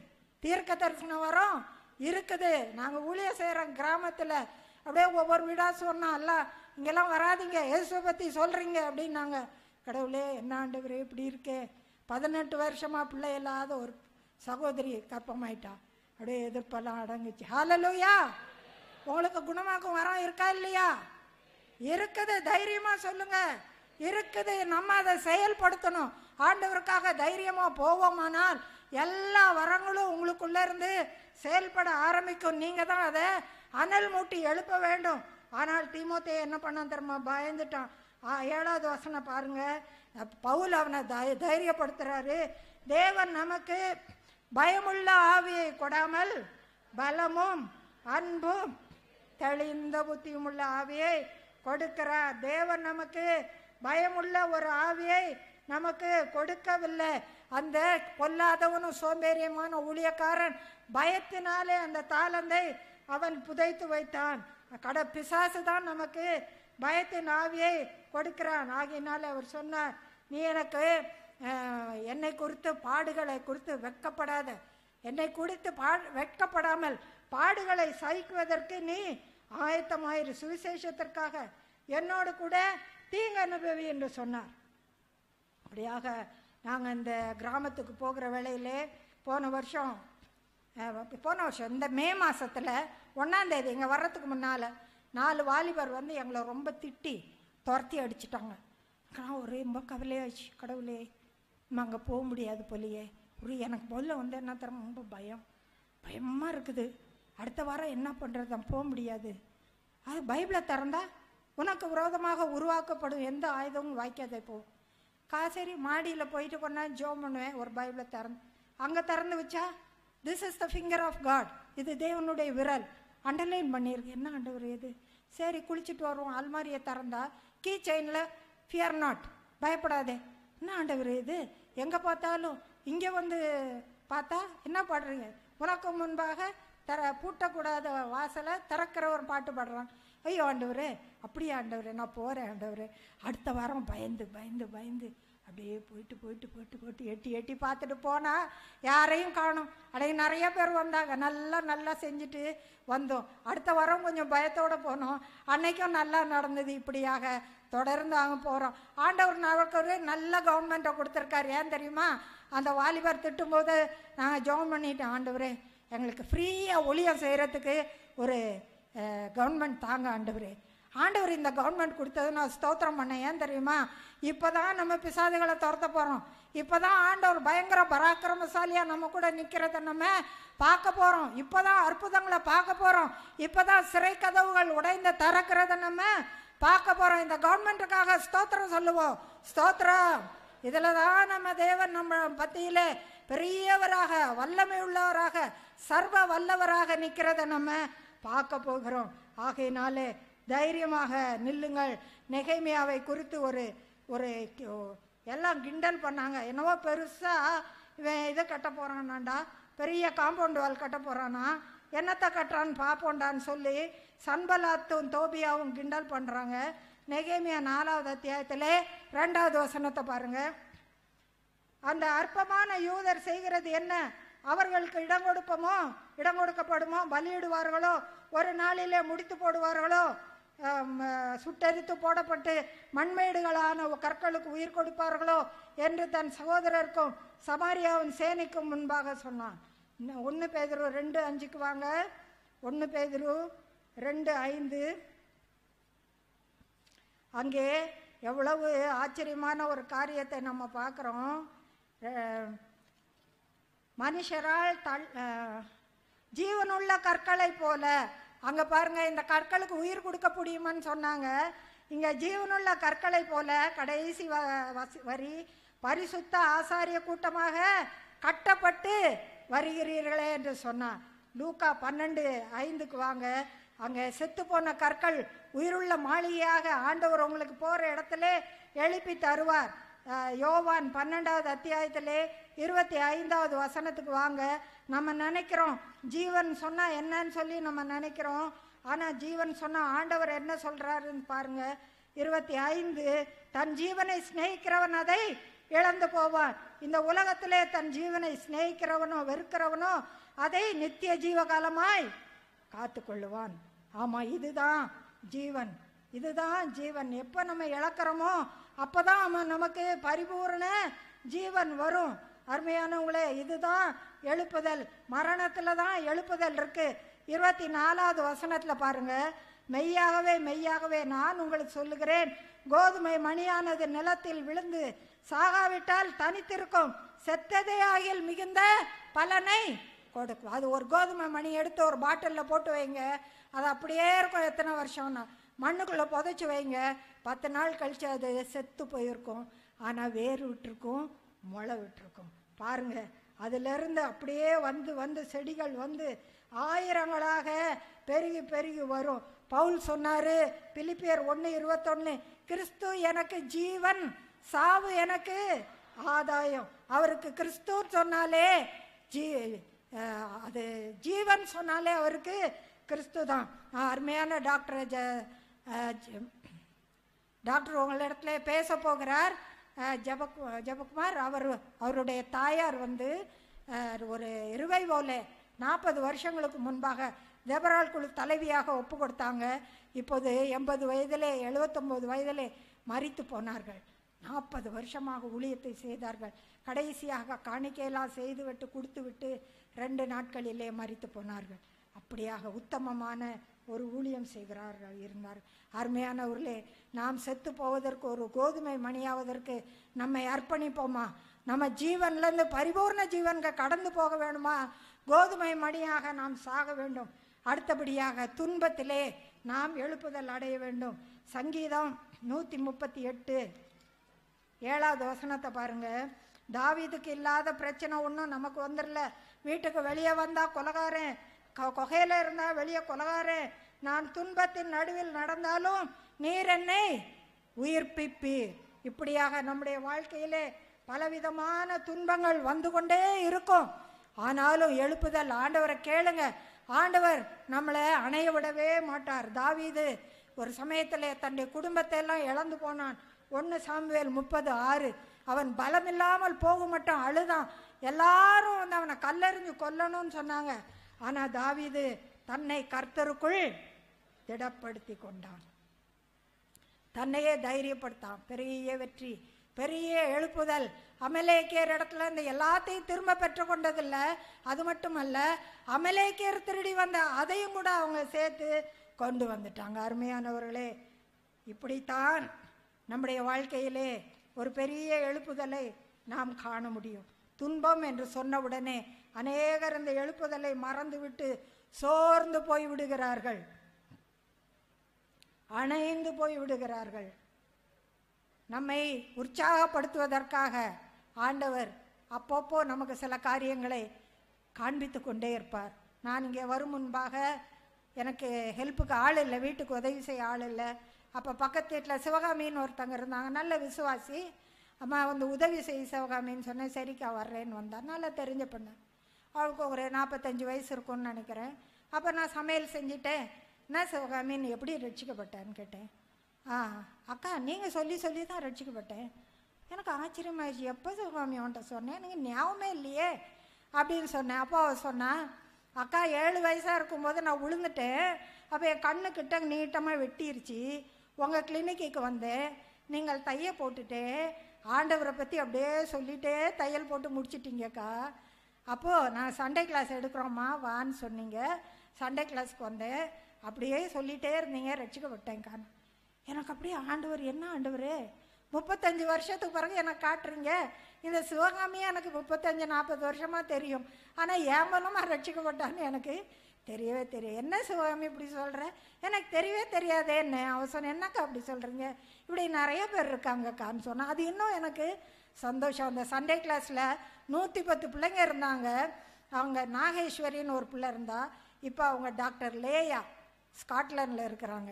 பாருங்க நீங்கள் போடுற விதையெல்லாம் ஆண்டவர் எப்படி கொண்டாடுறாரு எப்படி நமக்கு உயிர் ஊட்டுறாருன்னு பாருங்க. நம்ம எவ்வளோ சோர்ந்து போனாலும் நீங்கள் சோர்ந்து போயிடாதீங்க ஆண்டவர் உங்களுக்கு உயிர் கொடுத்துக்கிட்டே இருப்பார். ஆண்டவர் சில சமயம் நம்மளை சிட்சிப்பார் எபிரேயர் பன்னெண்டாவது அத்தியாயத்திலே பதினோராவது வசனத்துக்கு வாங்க. எபிரேயர் பன்னெண்டு பதினொன்றில் ஆண்டவருடைய சிக்ஷையை அற்பமாக எண்ணாதீங்கன்னு சொல்லிட்டு அவர் என்ன சொல்கிறாரு அவர் ஆகையால் நெளிந்த க கைகளையும் தளர்ந்த முழங்கால்களையும் நீங்கள் திரும்ப நிமிர்த்தி. ஸோ பிரச்சனை வந்தோடனே எப்படி போய் இப்படி நின்றுட்டு இருந்தவங்க? அடி போயிடும் என்ன சொல்கிறாங்க நிமிந்துக்கோ கைகளை திடப்படுத்திக்கோ. ஆண்டவர் அப்படி தான் சிரிச்சுப்பார். அதுக்காக சோர்ந்து போயிடுறதா? முடமாக இருக்கிறது பிசகி போகாமல் சொஸ்தமாகும்படிக்கு உங்கள் பாதங்களுக்கு வழிகளை செவ்வாய்ப்படுத்து போ நடந்து போ. வழி சரியாகட்டும். இப்படி தான் நாம் துன்பத்திலே துக்கத்திலே எழுந்து கொள்ள வேணும். ஆறாவதாக மரணத்துக்கு பின்பாக நாம் எழுப்புதலை கொண்டு வர முடியுமா? முடியும். அதுக்கும் ஆதாரமாக ஒரு வசனம் இருக்கு. ரெண்டு ராஜாக்கள் பதிமூன்றாவது அத்தியாயத்திலே இருபத்தி ஓராவது வசனத்திலே அங்கே எலிசா செத்து போய் அவனை இது கல்லறையில் போட்டு புதைச்சிட்டாங்க. அங்கே எதிரிகள் ஒரு வாலிபனை புதைக்கிறதுக்கு கொண்டாங்க. எதிரிகள் வராங்க. அதை பார்த்த உடனே அவங்க என்ன பண்ணிட்டாங்க? அத்தண்டை கண்டு அந்த மனுஷனை அந்த செத்த பிணத்தை எலிசாவின் கல்லறையிலே போட்டார்கள். அந்த மனுஷனின் பிரேதம் அதில் விழுந்து எலிசாவின் எலும்புகளின் மேல் பட்டபோது அந்த மனுஷன் உயிரடைந்து தன் கால்களை ஊன்றி எழுந்திருந்தான்.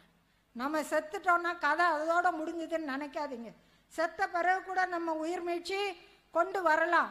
ஆபேலின் ரத்தம் பேசிச்சான் தரையிலேருந்து கூப்பிட்டுச்சான் செத்துட்டான். ஆபேலின் ரத்தம் இயேசு கிறிஸ்துவின் ரத்தங்களை விட கொஞ்சம் கொஞ்சம் நன்மைகளை பேசிச்சு இயேசுவின் ரத்தம் அதை விட மேலானவைகளை பேசிச்சான். ஏசு கிறிஸ்துவின் ரத்தத்துக்கு ஒப்பிடப்பட்ட ஒரே ஒரு ரத்தம் ஆபேலின் ரத்தம் தான். அதை விட மேன்மையானவைகளை பேசின இயேசுவின் ரத்தம்னு சொன்னா ஆபேலின் ரத்தம் மேன்மையானவைகளை பேசிச்சு. அப்ப நம்ம எப்படி பேசலாம்னு சொல்லி சுருக்கமா சொல்றேன். பாருங்க முதலாவது ஆத்மா ஆதாயம் செய்யணும். ஆத்துகாக்களை ஆதாயம் செய்து விட்டு அவங்கள நல்ல ஆத்மா ஆக்கி விட்டு அப்புறம் அவங்களுக்கு நல்ல ஜெபம் பண்ண கற்றுக் கொடுத்து பைபிள் வாசிக்க கற்றுக் கொடுத்துட்டீங்க. அவங்கள நல்ல சீடர் ஆக்கிட்டீங்கன்னா நீங்கள் செத்து போனாலும் அவங்க என்ன பண்ணுவாங்க? கனி கொடுத்துட்டே இருப்பாங்க. அப்போ நம்ம சாங்க மாட்டோம். ஒரு பழத்தை எடுத்துக்கிட்டிங்கன்னா அந்த பழத்தை தின்னுட்டு கொட்டையை துப்பிடுறீங்க. அதுக்குள்ளே எவ்வளோ சீடு இருக்குது அந்த விதைகள் எல்லாம் முளைக்கும். அந்த விதைக்குள்ளே எவ்வளோ சீடு இருக்குது அந்த பழங்கள் எல்லாம் முளைக்கும். அப்படியே முளைச்சி முளைச்சி பெரிய ஆலமரமாக அப்படி தான் இன்னைக்கு பிஒய்எம் பல தேசங்களில் இருக்குது அமெரிக்காவில் இருக்குது இங்கிலாண்டில் இருக்குது எல்லா கல்ஃப் கண்ட்ரியில் இருக்குது சிங்கப்பூரில் இருக்குது எப்படி?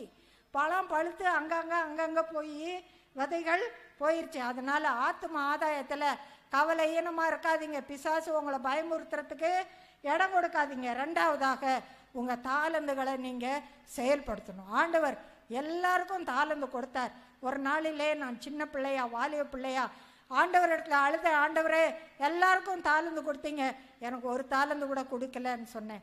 ஆண்டவர் சொன்னால் நல்லா பேசுறிய. அது ஒரு தாளந்து நான் போய் பேசு அப்படின்னு சொன்னார். அது அப்படின்னு பய பஸ் ஸ்டாண்டில் நின்றுட்டு இருப்பேன் இப்போ பக்கத்தில் இருக்கட்டும் அம்மா டைம் என்னம்மான்னு கேட்பேன். டைம் சொல்லுவாங்க. அம்மா ஏசுநாதர் பற்றி தெரியுமாம்மா? அப்படின்னு சொல்லுவேன். நீ தான் சொல்லு அப்படின்னு. அதுக்குள்ளே பஸ் வந்தோடனே ஸ்தோத்திரம் ஸ்தோத்திரம். சொல்ல வேண்டியதில் ஏறி போயிடுவேன். இப்படி தான் ஆரம்பித்தேன் ஆண்டவர் பேசுகிறது கூட ஒரு தாளந்து. ஒவ்வொருத்தருக்கும் தாளந்து கொடுத்துருக்கிறார்.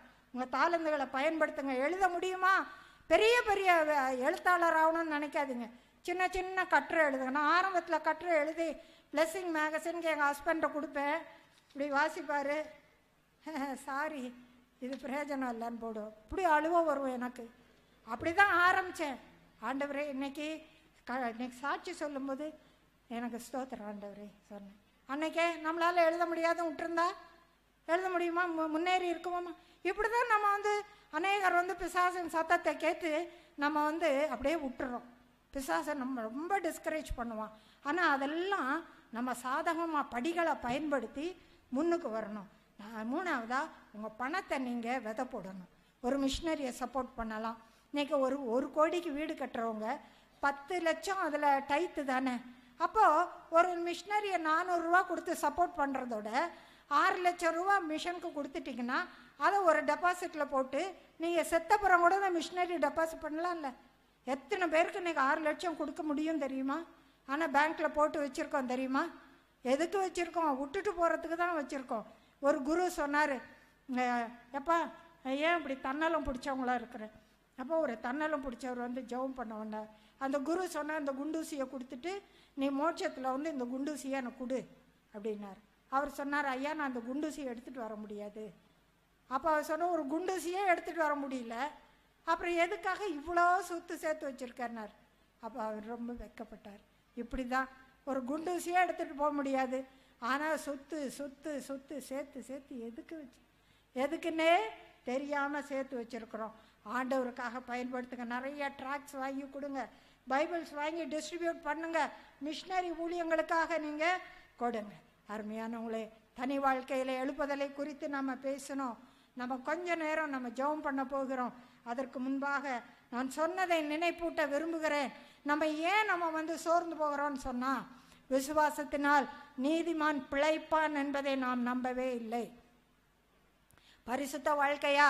என்னால் முடியாதுன்னு விட்டுறோம். இல்லை எத்தனை தடவை விழுந்தாலும் நீங்கள் நீதிமான் ஏழு தடவை விழுந்தாலும் எழுந்திருப்பான் சாகிற வரைக்கும் நம்ம விழுந்து விழுந்து எந்திரிச்சுக்கிட்டே தான் போவோம். அதுக்குரிய விசுவாசம் வேணும். ஆண்டவரை விட்டு விடாமல் இல்லை ஆண்டவரே எனக்கு பரிசுத்தத்தை இழந்துட்டேன் ஆனால் உங்களை விட மாட்டேன். அப்படி பிடிச்சிக்கணும். ஜப வாழ்க்கையில் தூங்கி தூங்கி விழுறீங்களா? பரவாயில்ல. விசுவாசத்தினால் நீதிமான் பிழைப்பான். நம்புங்க கடவுள் என்ன உயிர்ப்பிப்பார். நம்பி நம்பி நம்பி. ஜெபம் பண்ணுங்க. பைபிள் வாசிப்பில் வெளிப்பாடு இல்லையா? பரவாயில்ல.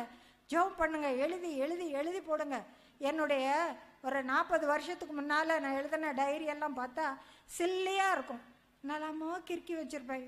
ஆண்டவர் சொல்கிறாருன்னு இன்றைக்கி பார்த்தா ஒவ்வொரு டைரி ஒவ்வொரு பேஜ்லேயும் ஒரு மெசேஜ் எழுதலாம். அவ்வளவு ஆண்டவர் எனக்கு கற்றுக் கொடுக்குறார். இப்படி தான் நம்ம வளர்கிறோம் விசுவாசத்தினால்தான். நம்பி நம்பி நம்பி தினந்தோறும் படிங்க. முன்னேறிட்டே வருவீங்க. அப்படியா ஊழிய பாதையில் சோர்ந்து போயிடாதீங்க உற்சாகமாக யாராவது வரட்டுறாங்களா அடுத்த கிராமத்துக்கு போங்க. இல்லைன்னா திரும்பவும் போய் பாருங்கள் விடமாட்டோம் பிடிவாதமாக இருங்க. யாராவது பின்வாங்கி போயிட்டாங்களா நீங்கள் நடத்துனவங்க சோர்ந்து போயிடாதீங்க இப்படியாக நாம் எல்லா துன்பத்திலையும் கூட நம் ஆண்டவரை விடாமல் நாம் பிடித்து கொண்டே இருக்க வேணும். ஜெபிப்போமா? முழங்கால் படியிடுவோமா? யார் யாரெல்லாம் முழங்கால் படியிட முடியுமோ? தரையில் முழங்கால் படியிடுங்க வாலிய பிள்ளைங்க. எல்லாரும் முழங்கால் படியிடுங்க. ஆண்டவரை நோக்கி நாம் விண்ணப்பம் பண்ணுவோம். இங்கேருந்து நம்ம ஒரு எழுப்புதல் இல்லாமல் போகக்கூடாது. தனி வாழ்வில் ஒரு எழுப்புதல் இல்லாமல் போனோம்னு சொன்னால் அது பிரயோஜனம் இல்லாமல் போயிடும் எங்கே மழை பெஞ்சா எனக்கு என்ன பிரயோஜனம்? எனக்கு மழை பெய்யணுமே. என்னுடைய வாழ்வில் மழை வேணுமே. ஆண்டவரை நோக்கி கூப்பிடுவோமா? ஆண்டவரே எனக்கு மழை வேணுமே என்னுடைய கிணறு நிரம்பணுமே எனக்கு தண்ணி வேணுமே ஒரு டம்ளர் தண்ணி பத்தாதே ஆண்டவரே ஆற்றாங்கரைக்கு என்னை நடத்திட்டு போவீங்களா? அருவிக்கு என்னை நடத்திட்டு போவீங்களா? கணுக்கால் ஆழம் பத்தாத ஆண்டவரே நீச்சல் ஆழத்துக்கு என்னை கொண்டு போங்க ஆண்டவரே. அப்பா ஆண்டவரை நோக்கி கூப்பிடுங்க. நான் இங்கேருந்து யாக்கோபாக போகக்கூடாது ஆண்டவரே. ஒரு இஸ்ரவேலாக நான் போக வேணும் ஆண்டவரே. தனி வாழ்வையிலே எனக்கு ஒரு எழுப்புதல் வேணும் ஆண்டவரே. ஆண்டவரே பொட்டுப்பூச்சி அரிச்சதை எனக்கு திரும்ப தாங்க ஆண்டவரே. வெட்டுக்குழி அரிச்சதை எனக்கு திரும்ப தாங்க ஆண்டவரே. என்று ஆண்டவரை நோக்கி பார்ப்போமா? ஆண்டவர் உங்கள் பக்கத்தில் வந்து நிற்கிறாரு பிடிச்சிக்கோங்க. நான் எப்படி உங்களுக்கு கை காமிச்சேன்? அப்படி பிடிச்சிக்கோங்க. ஆண்டவரை கெட்டியாக பிடிச்சிக்கோங்க. ஆண்டவரே நீர் என்னை ஆசீர்வைத்தாலோடைய நான் விட மாட்டேன்னு சொல்லுங்கள் உங்களை உற்சாகப்படுத்தும் வசனத்தை வாசிக்க விரும்புகிறேன். ஏசாயா நாற்பத்தி நாலு மூணுலேருந்து அஞ்சு வரைக்கும் வாசிக்கிறேன். தாகமுள்ளவன் மேல் தண்ணீரையும் வறண்ட நிலத்தின் மேல் ஆறுகளை ஊற்றுவேன்னு சொன்னாரு. உங்களுக்கு தாகம் இருக்குதா? உங்கள் மேலே தண்ணீரை ஊற்றுறாரு வறண்ட நிலம்னு நினைக்கிறீங்களா? உங்கள் மேலே ஆறுகளை ஊற்றுறாரு யா- யா- யோபுவினுடைய முன்னிலைமை பின்னிலைமையை ஆண்டவர் ஆசீர்வைத்தார் இரட்டிப்பாக அவர் ஆசீர்வைத்தார். யாக்கோபு என்னும் பூச்சியே என்று சொல்லுகிறார். ஒரு பூச்சி தான் ஒரு பூச்சி தான் நம்ம ஒரு பூச்சி தான் ஆனா ஆண்டவர் இந்த பூச்சி மூலமா ஒரு மலையை மிதிப்பதற்கு அவர் இங்கே வந்து நிற்கிறார். அருமையானவங்களே ஒரு பூச்சி பயப்படாதே. நான் உன் பக்கத்திலே நிற்கிறேன். நான் உனக்கு துணையாக நிற்கிறேன் என்று ஆண்டவர் சொல்லுகிறார். ஏன் பயப்படுகிறாய் என்று ஆண்டவர் சொல்லுகிறார். பயப்படாதே சிறு பூச்சியே பயப்படாதே சிறு மந்தையே. உன் தேவனாய் இருக்கிற கர்த்தராகிய நான் உன் வலது கையை பிடித்து பயப்படாதே. நான் உனக்கு துணை நிற்கிறேன் என்று சொல்லுகிறேன். யாக்கோபு என்னும் பூச்சியே இஸ்ரவேலின் சிறு கூட்டமே பயப்படாதே. நான் உனக்கு துணை நிற்கிறேன் என்று கர்த்தரும் இஸ்ரவேலின் பரிசுத்தருமாகிய உன் மீட்பர் உரைக்கிறார். இதோ போரடிக்கிறதற்கு நான் உன்னை புதிதும் கூர்மையுமான பற்கள் உள்ள எந்திரமாக்குகிறேன். இதை வாக்கு தத்தமாக எடுத்துக்கொள்ளுங்கள் நீ மலைகளை மிதித்து நொறுக்கி குன்றுகளை பதருக்கு ஒப்பாக்கி போடுவாய். ஆ ஒரு பூச்சி தான் இந்த பூச்சி தான் வந்து மலையை நொறுக்க போகுது. இந்த பூச்சி தான் வந்து மலையை நசுக்க போகுது. இந்த பூச்சி தான் பெரிய காரியங்களை செய்ய போகுது. இந்த பூச்சியுடைய பல்லு தான் எந்திரமாக இருக்குது. பயப்படாதீங்க. பயத்தை தூர த- தள்ளி வையுங்க. யாக்கோபு என்னும் பூச்சியே உன் மூலமாக தான் எழுப்புதல் வரப்போகுது. உன் மூலமாக தான் இந்தியாவுக்கு எழுப்புதல் வரப்போகுது. பயப்படாதே பயப்படாதே. வனாந்தரத்தில் கேதுர் மரங்களை கொடுப்பார். உயர்ந்த மேடுகளின் மேலே ஆறுகளை ஓட பண்ணுவார். பள்ளத்தாக்கையின் நடுவிலே ஊற்றுகளை திறப்பார். வனாந்தரம் தண்ணீர் தடாகமாகும். வனாந்தர பூமி நீர்க்கேணிகளாகும். அருமையான பூச்சிகளே போங்க இங்கிருந்து போங்க. உங்களுக்குள்ளே ஆண்டவர் ஒரு எழுப்புதலை நிச்சயமாக கொடுப்பார். நிச்சயமாக கொடுப்பார். ஆண்டவரே அப்படி ஒரு எழுப்புதல் இல்லாமல் எங்களை இங்கேருந்து அனுப்பாதீங்க. ஆண்டவரேன்னு சொல்லுங்க. ஆண்டவரே தனிப்பட்ட வாழ்விலே எழுப்புதல் இல்லாமல் நாங்கள் போக ஆயத்தமாக இல்லை ஆண்டவரே. நீர் எங்களை ஆசீர்வைத்தாலொழிய உங்களை விட்டு நாங்கள் போக மாட்டோம் ஆண்டவரே. உண்மை நாங்கள் விட மாட்டோம் ஆண்டவரே.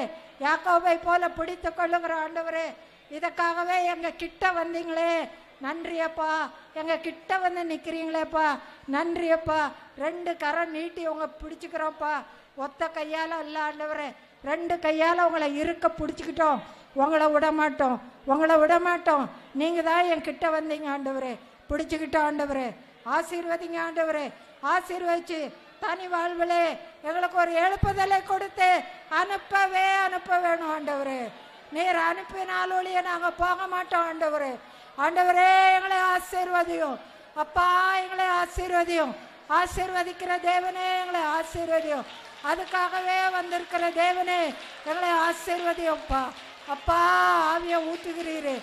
ஸ்தோத்திரம். நாங்கள் பூச்சிப்பா. நாங்கள் பூச்சிப்பா. ஆண்டவரே எங்களை ஆசீர்வதியும். ஆண்டவரே எங்களை தைரியப்படுத்தும். ஆண்டவரே எங்களை உற்சாகமாக எங்கிருந்து எழுத்து அனுப்பி. அப்பா ஒரு இஸ்ரவேலாக அனுப்பு ஆண்டவரே. ஒரு இஸ்ரவேலாக அனுப்பு ஆண்டவரே. ஹாலலூயா ஹாலலூயா ஹாலலூயா ஹாலலூயா அப்பா ஊற்றுங்கப்பா ஊற்றுங்கப்பா ஊற்றுங்கப்பா ஊற்றுங்கப்பா. ஹாலலூயா ஸ்தோத்ர ஸ்தோத்ர ஸ்தோத்ர நல்ல ஆண்டவரே ஸ்தோத்திர ஆண்டவரே. இந்த வேளையிலே எங்களை உயிர்ப்பித்தீரே ஸ்தோத்திரப்பா. இந்த வேளையிலே மட்டும் இல்லப்பா. தொடர்ந்து எங்கள் வாழ்வையிலே இந்த தனிப்பட்ட எழுப்புதல் தொடர்ந்து நிற்க வேணுமே. தினந்தோறும் இருக்க வேணுமே.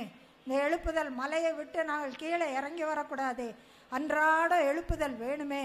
ஆண்டவரே பரிசுத்த வாழ்க்கையில் எழுப்புதல் வேணுமே. எங்கள் பொய் இன்னைக்கோட பொய் பேசுகிற நாவு நின்று போகணுமே பொய் பேசுகிற உதடுகள் நின்று போகணுமே. உண்மையை பேச கற்றுக் கொடுங்க. அன்பில்லாத இருதயத்தை மாற்றுங்க. என் மாமியாரை நேசிக்க எனக்கு கிருபத்தாங்க மருமகளை நேசிக்க கிருபத்தாங்க எல்லாரையும் நேசிக்க கிருபத்தாங்க சொந்த பிள்ளையையே வெறுக்கிறேனே. சொந்த பேத்தியையே வெறுக்கிறேனே. சொந்த புருஷனையே கோவப்படுறேனே. சொந்த மனைவியே அடிக்கிறேனே. என்னை மாற்றுங்க. என்னை மாற்றுங்க. என்னை பரிசுத்தம் பண்ணுங்க. பரிசுத்த வாழ்க்கையில் எனக்கு ஒரு எழுப்புதல் வேணுமே. இன்னும் வேணுமே. பரிசுத்தத்திலேருந்து இன்னும் பரிசமாகணுமே இன்றைக்கு என்ன தத்தம் செய்கிறேன்ப்பா பரிசுத்த வாழ்க்கைக்கு என்ன தத்துவம் செய்கிறேன்ப்பா ஜெபம் பண்ண போகிறேன்ப்பா இனி நான் ஜெபம் பண்ணாமல் இருக்க மாட்டேன் ஆண்டவரே. தினந்தோறும் நான் ஜெபம் பண்ணுவேன். எந்த சோர்வு வந்தாலும் விட மாட்டேன். ஆண்டவரே உண்மை பற்றி கொள்ள உண்மை நோக்கி நான் கூப்பிடுகிறேன். உண்மை பற்றி கொள்ளும்படியாக விழித்து கொள்ளுகிறேன் ஆண்டவரே. ஆண்டவரே ஜெபத்தில் என்ன சோர்வு வந்தாலும் நான் விட மாட்டேன். நீர் என்னை ஆசீர்வதிக்க வரியா முழங்காலில் நிற்பேன். ஆண்டவரே உமக்கு குட் பை சொல்கிற வரைக்குமாக நீங்கள் போக மாட்டீங்க. நன்றி ஆண்டவரே. தேங்க்யூ லார்ட் தேங்க்யூ லார்ட் ஆண்டவரே வேதத்திலே ஒரு மலமரிச்சியை தாரும்ப்பா வசனங்களை புரிந்து கொள்வதற்கு எனக்கு கற்றுத்தாங்கப்பா. நான் பைபிளை திறக்கும் போது என் பக்கத்தில் வந்து உட்காந்துக்கோங்கப்பா எனக்கு விரல பைபிளில் வச்சு எனக்கு வாசித்து காட்டுங்கப்பா. இது என்னன்னு அர்த்தம் சொல்லி காட்டுங்கப்பா. இதில் மறைந்து கிடக்கிற அர்த்தத்தை சொல்லி காட்டுங்கப்பா. எனக்கு புரிய வைங்கப்பா. என் சோம்பேறித்தனத்தை மன்னிங்கப்பா. இவ்வளோ நாள் சோம்பேறியாக இருந்துட்டேன்ப்பா. இன்னும் என் டைரி வருஷத்துக்கு ஒரு ஒரு டைரியாக நான் நிரப்பணும் ஆண்டவரே. எழுதணும் ஆண்டவரே. ஸ்டடி பைபிள்ஸ் எடுத்து பார்க்கணும் ஆண்டவரே. எந்திரிக்க எவ்வளோ கஷ்டப்படுறேன்ப்பா. ராத்திரியில் உட்காந்து நான் பைபிள் படிக்கணும்ப்பா. முதல் சாமத்தில் நான் முழித்து கொள்ளணும்ப்பா. உமக்காக நான் காத்திருக்கணும்ப்பா. கற்றுக்கொடுங்க ஆண்டவரே. உடைய வசனம் தேனிலும் இனிமையானதாமே. தேனினிமையிலும் மேலான அந்த வசனத்தை எனக்கு போதித்து தாங்க ஆண்டவரே. ஊழியத்திலே எனக்கு ஒரு எழுப்புதல் தாங்கப்பா. ஆண்டவரே பயத்தை நீக்கி போடுங்க ஆண்டவரே. பயத்தின் ஆவியை விரட்டி போடுங்க ஆண்டவரே. அப்பா பிதாவே உற்சாகமாக ஊழியம் செய்யட்டும் ஆண்டவரே. உடைய வசனத்தை அள்ளி தூவணுமே. அள்ளி தூங்குற விதையிலே கை நிறைய எடுத்துட்டு போகட்டும் ஆண்டவரே. ஆத்மாக்களை ஆதாயம் செய்கிறவனாக என்னை இங்கிருந்து அனுப்பும் வாலிபரே நீங்க தான் ஆண்டவருக்கு. ஊழியக்காரங்க. எனக்கு ஒரு காலம் வரும். நான் படித்து முடிப்பேன். அப்புறம்னு சொல்லாதீங்க. இன்னைக்கு ட்ராக்ட் கொடுக்கறதுல என்ன நேரம் செலவழிக்க போறீங்க? பஸ்ஸில் உட்காந்துக்கிட்டே பேசுங்க. ட்ராக்ட் விடுங்க. யாராவது அடிக்கட்டும் உங்கள் மேலே துப்பட்டும். ஆண்டவருக்கு ஸ்தோத்திரம். பரலோகத்தில் உங்கள் பலன் மிகுதியாயிருக்கும். தேங்க்யூ லார்ட் ஒரு நாளும் சோர்ந்து போகாதீங்க. சோர்விலே ஆண்டவர் உங்களை உயிர்ப்பிப்பார். நெளிந்த கைகளை திடப்படுத்தி கொள்ளுங்க மரணத்துக்கு பிறகு நீங்க எப்படி உயிர்ப்பிக்க போறீங்க என்று சொல்லி தீர்மானம் எடுங்க. நல்ல ஆண்டவரே எங்களோடு நீர் இடைப்பட்டீரே முக்கு ஸ்தோத்திரம். ஆண்டவரே முக்க நன்றி சொல்லுகிறோம்ப்பா. தனிப்பட்ட வாழ்வையிலே இந்த எழுப்புதலை பெற்றுக்கொண்டவர்களாக போகிறோம். கடைசி மட்டுமாக இந்த எழுப்புதலை காத்துக்கொள்ள எங்களுக்கு கிருபை அருள்வீராக. இயேசு கிறிஸ்து மூலமாய் ஜெபிக்கிறோம் பிதாவே ஆமென். உட்காருவோம் தேங்க்யூ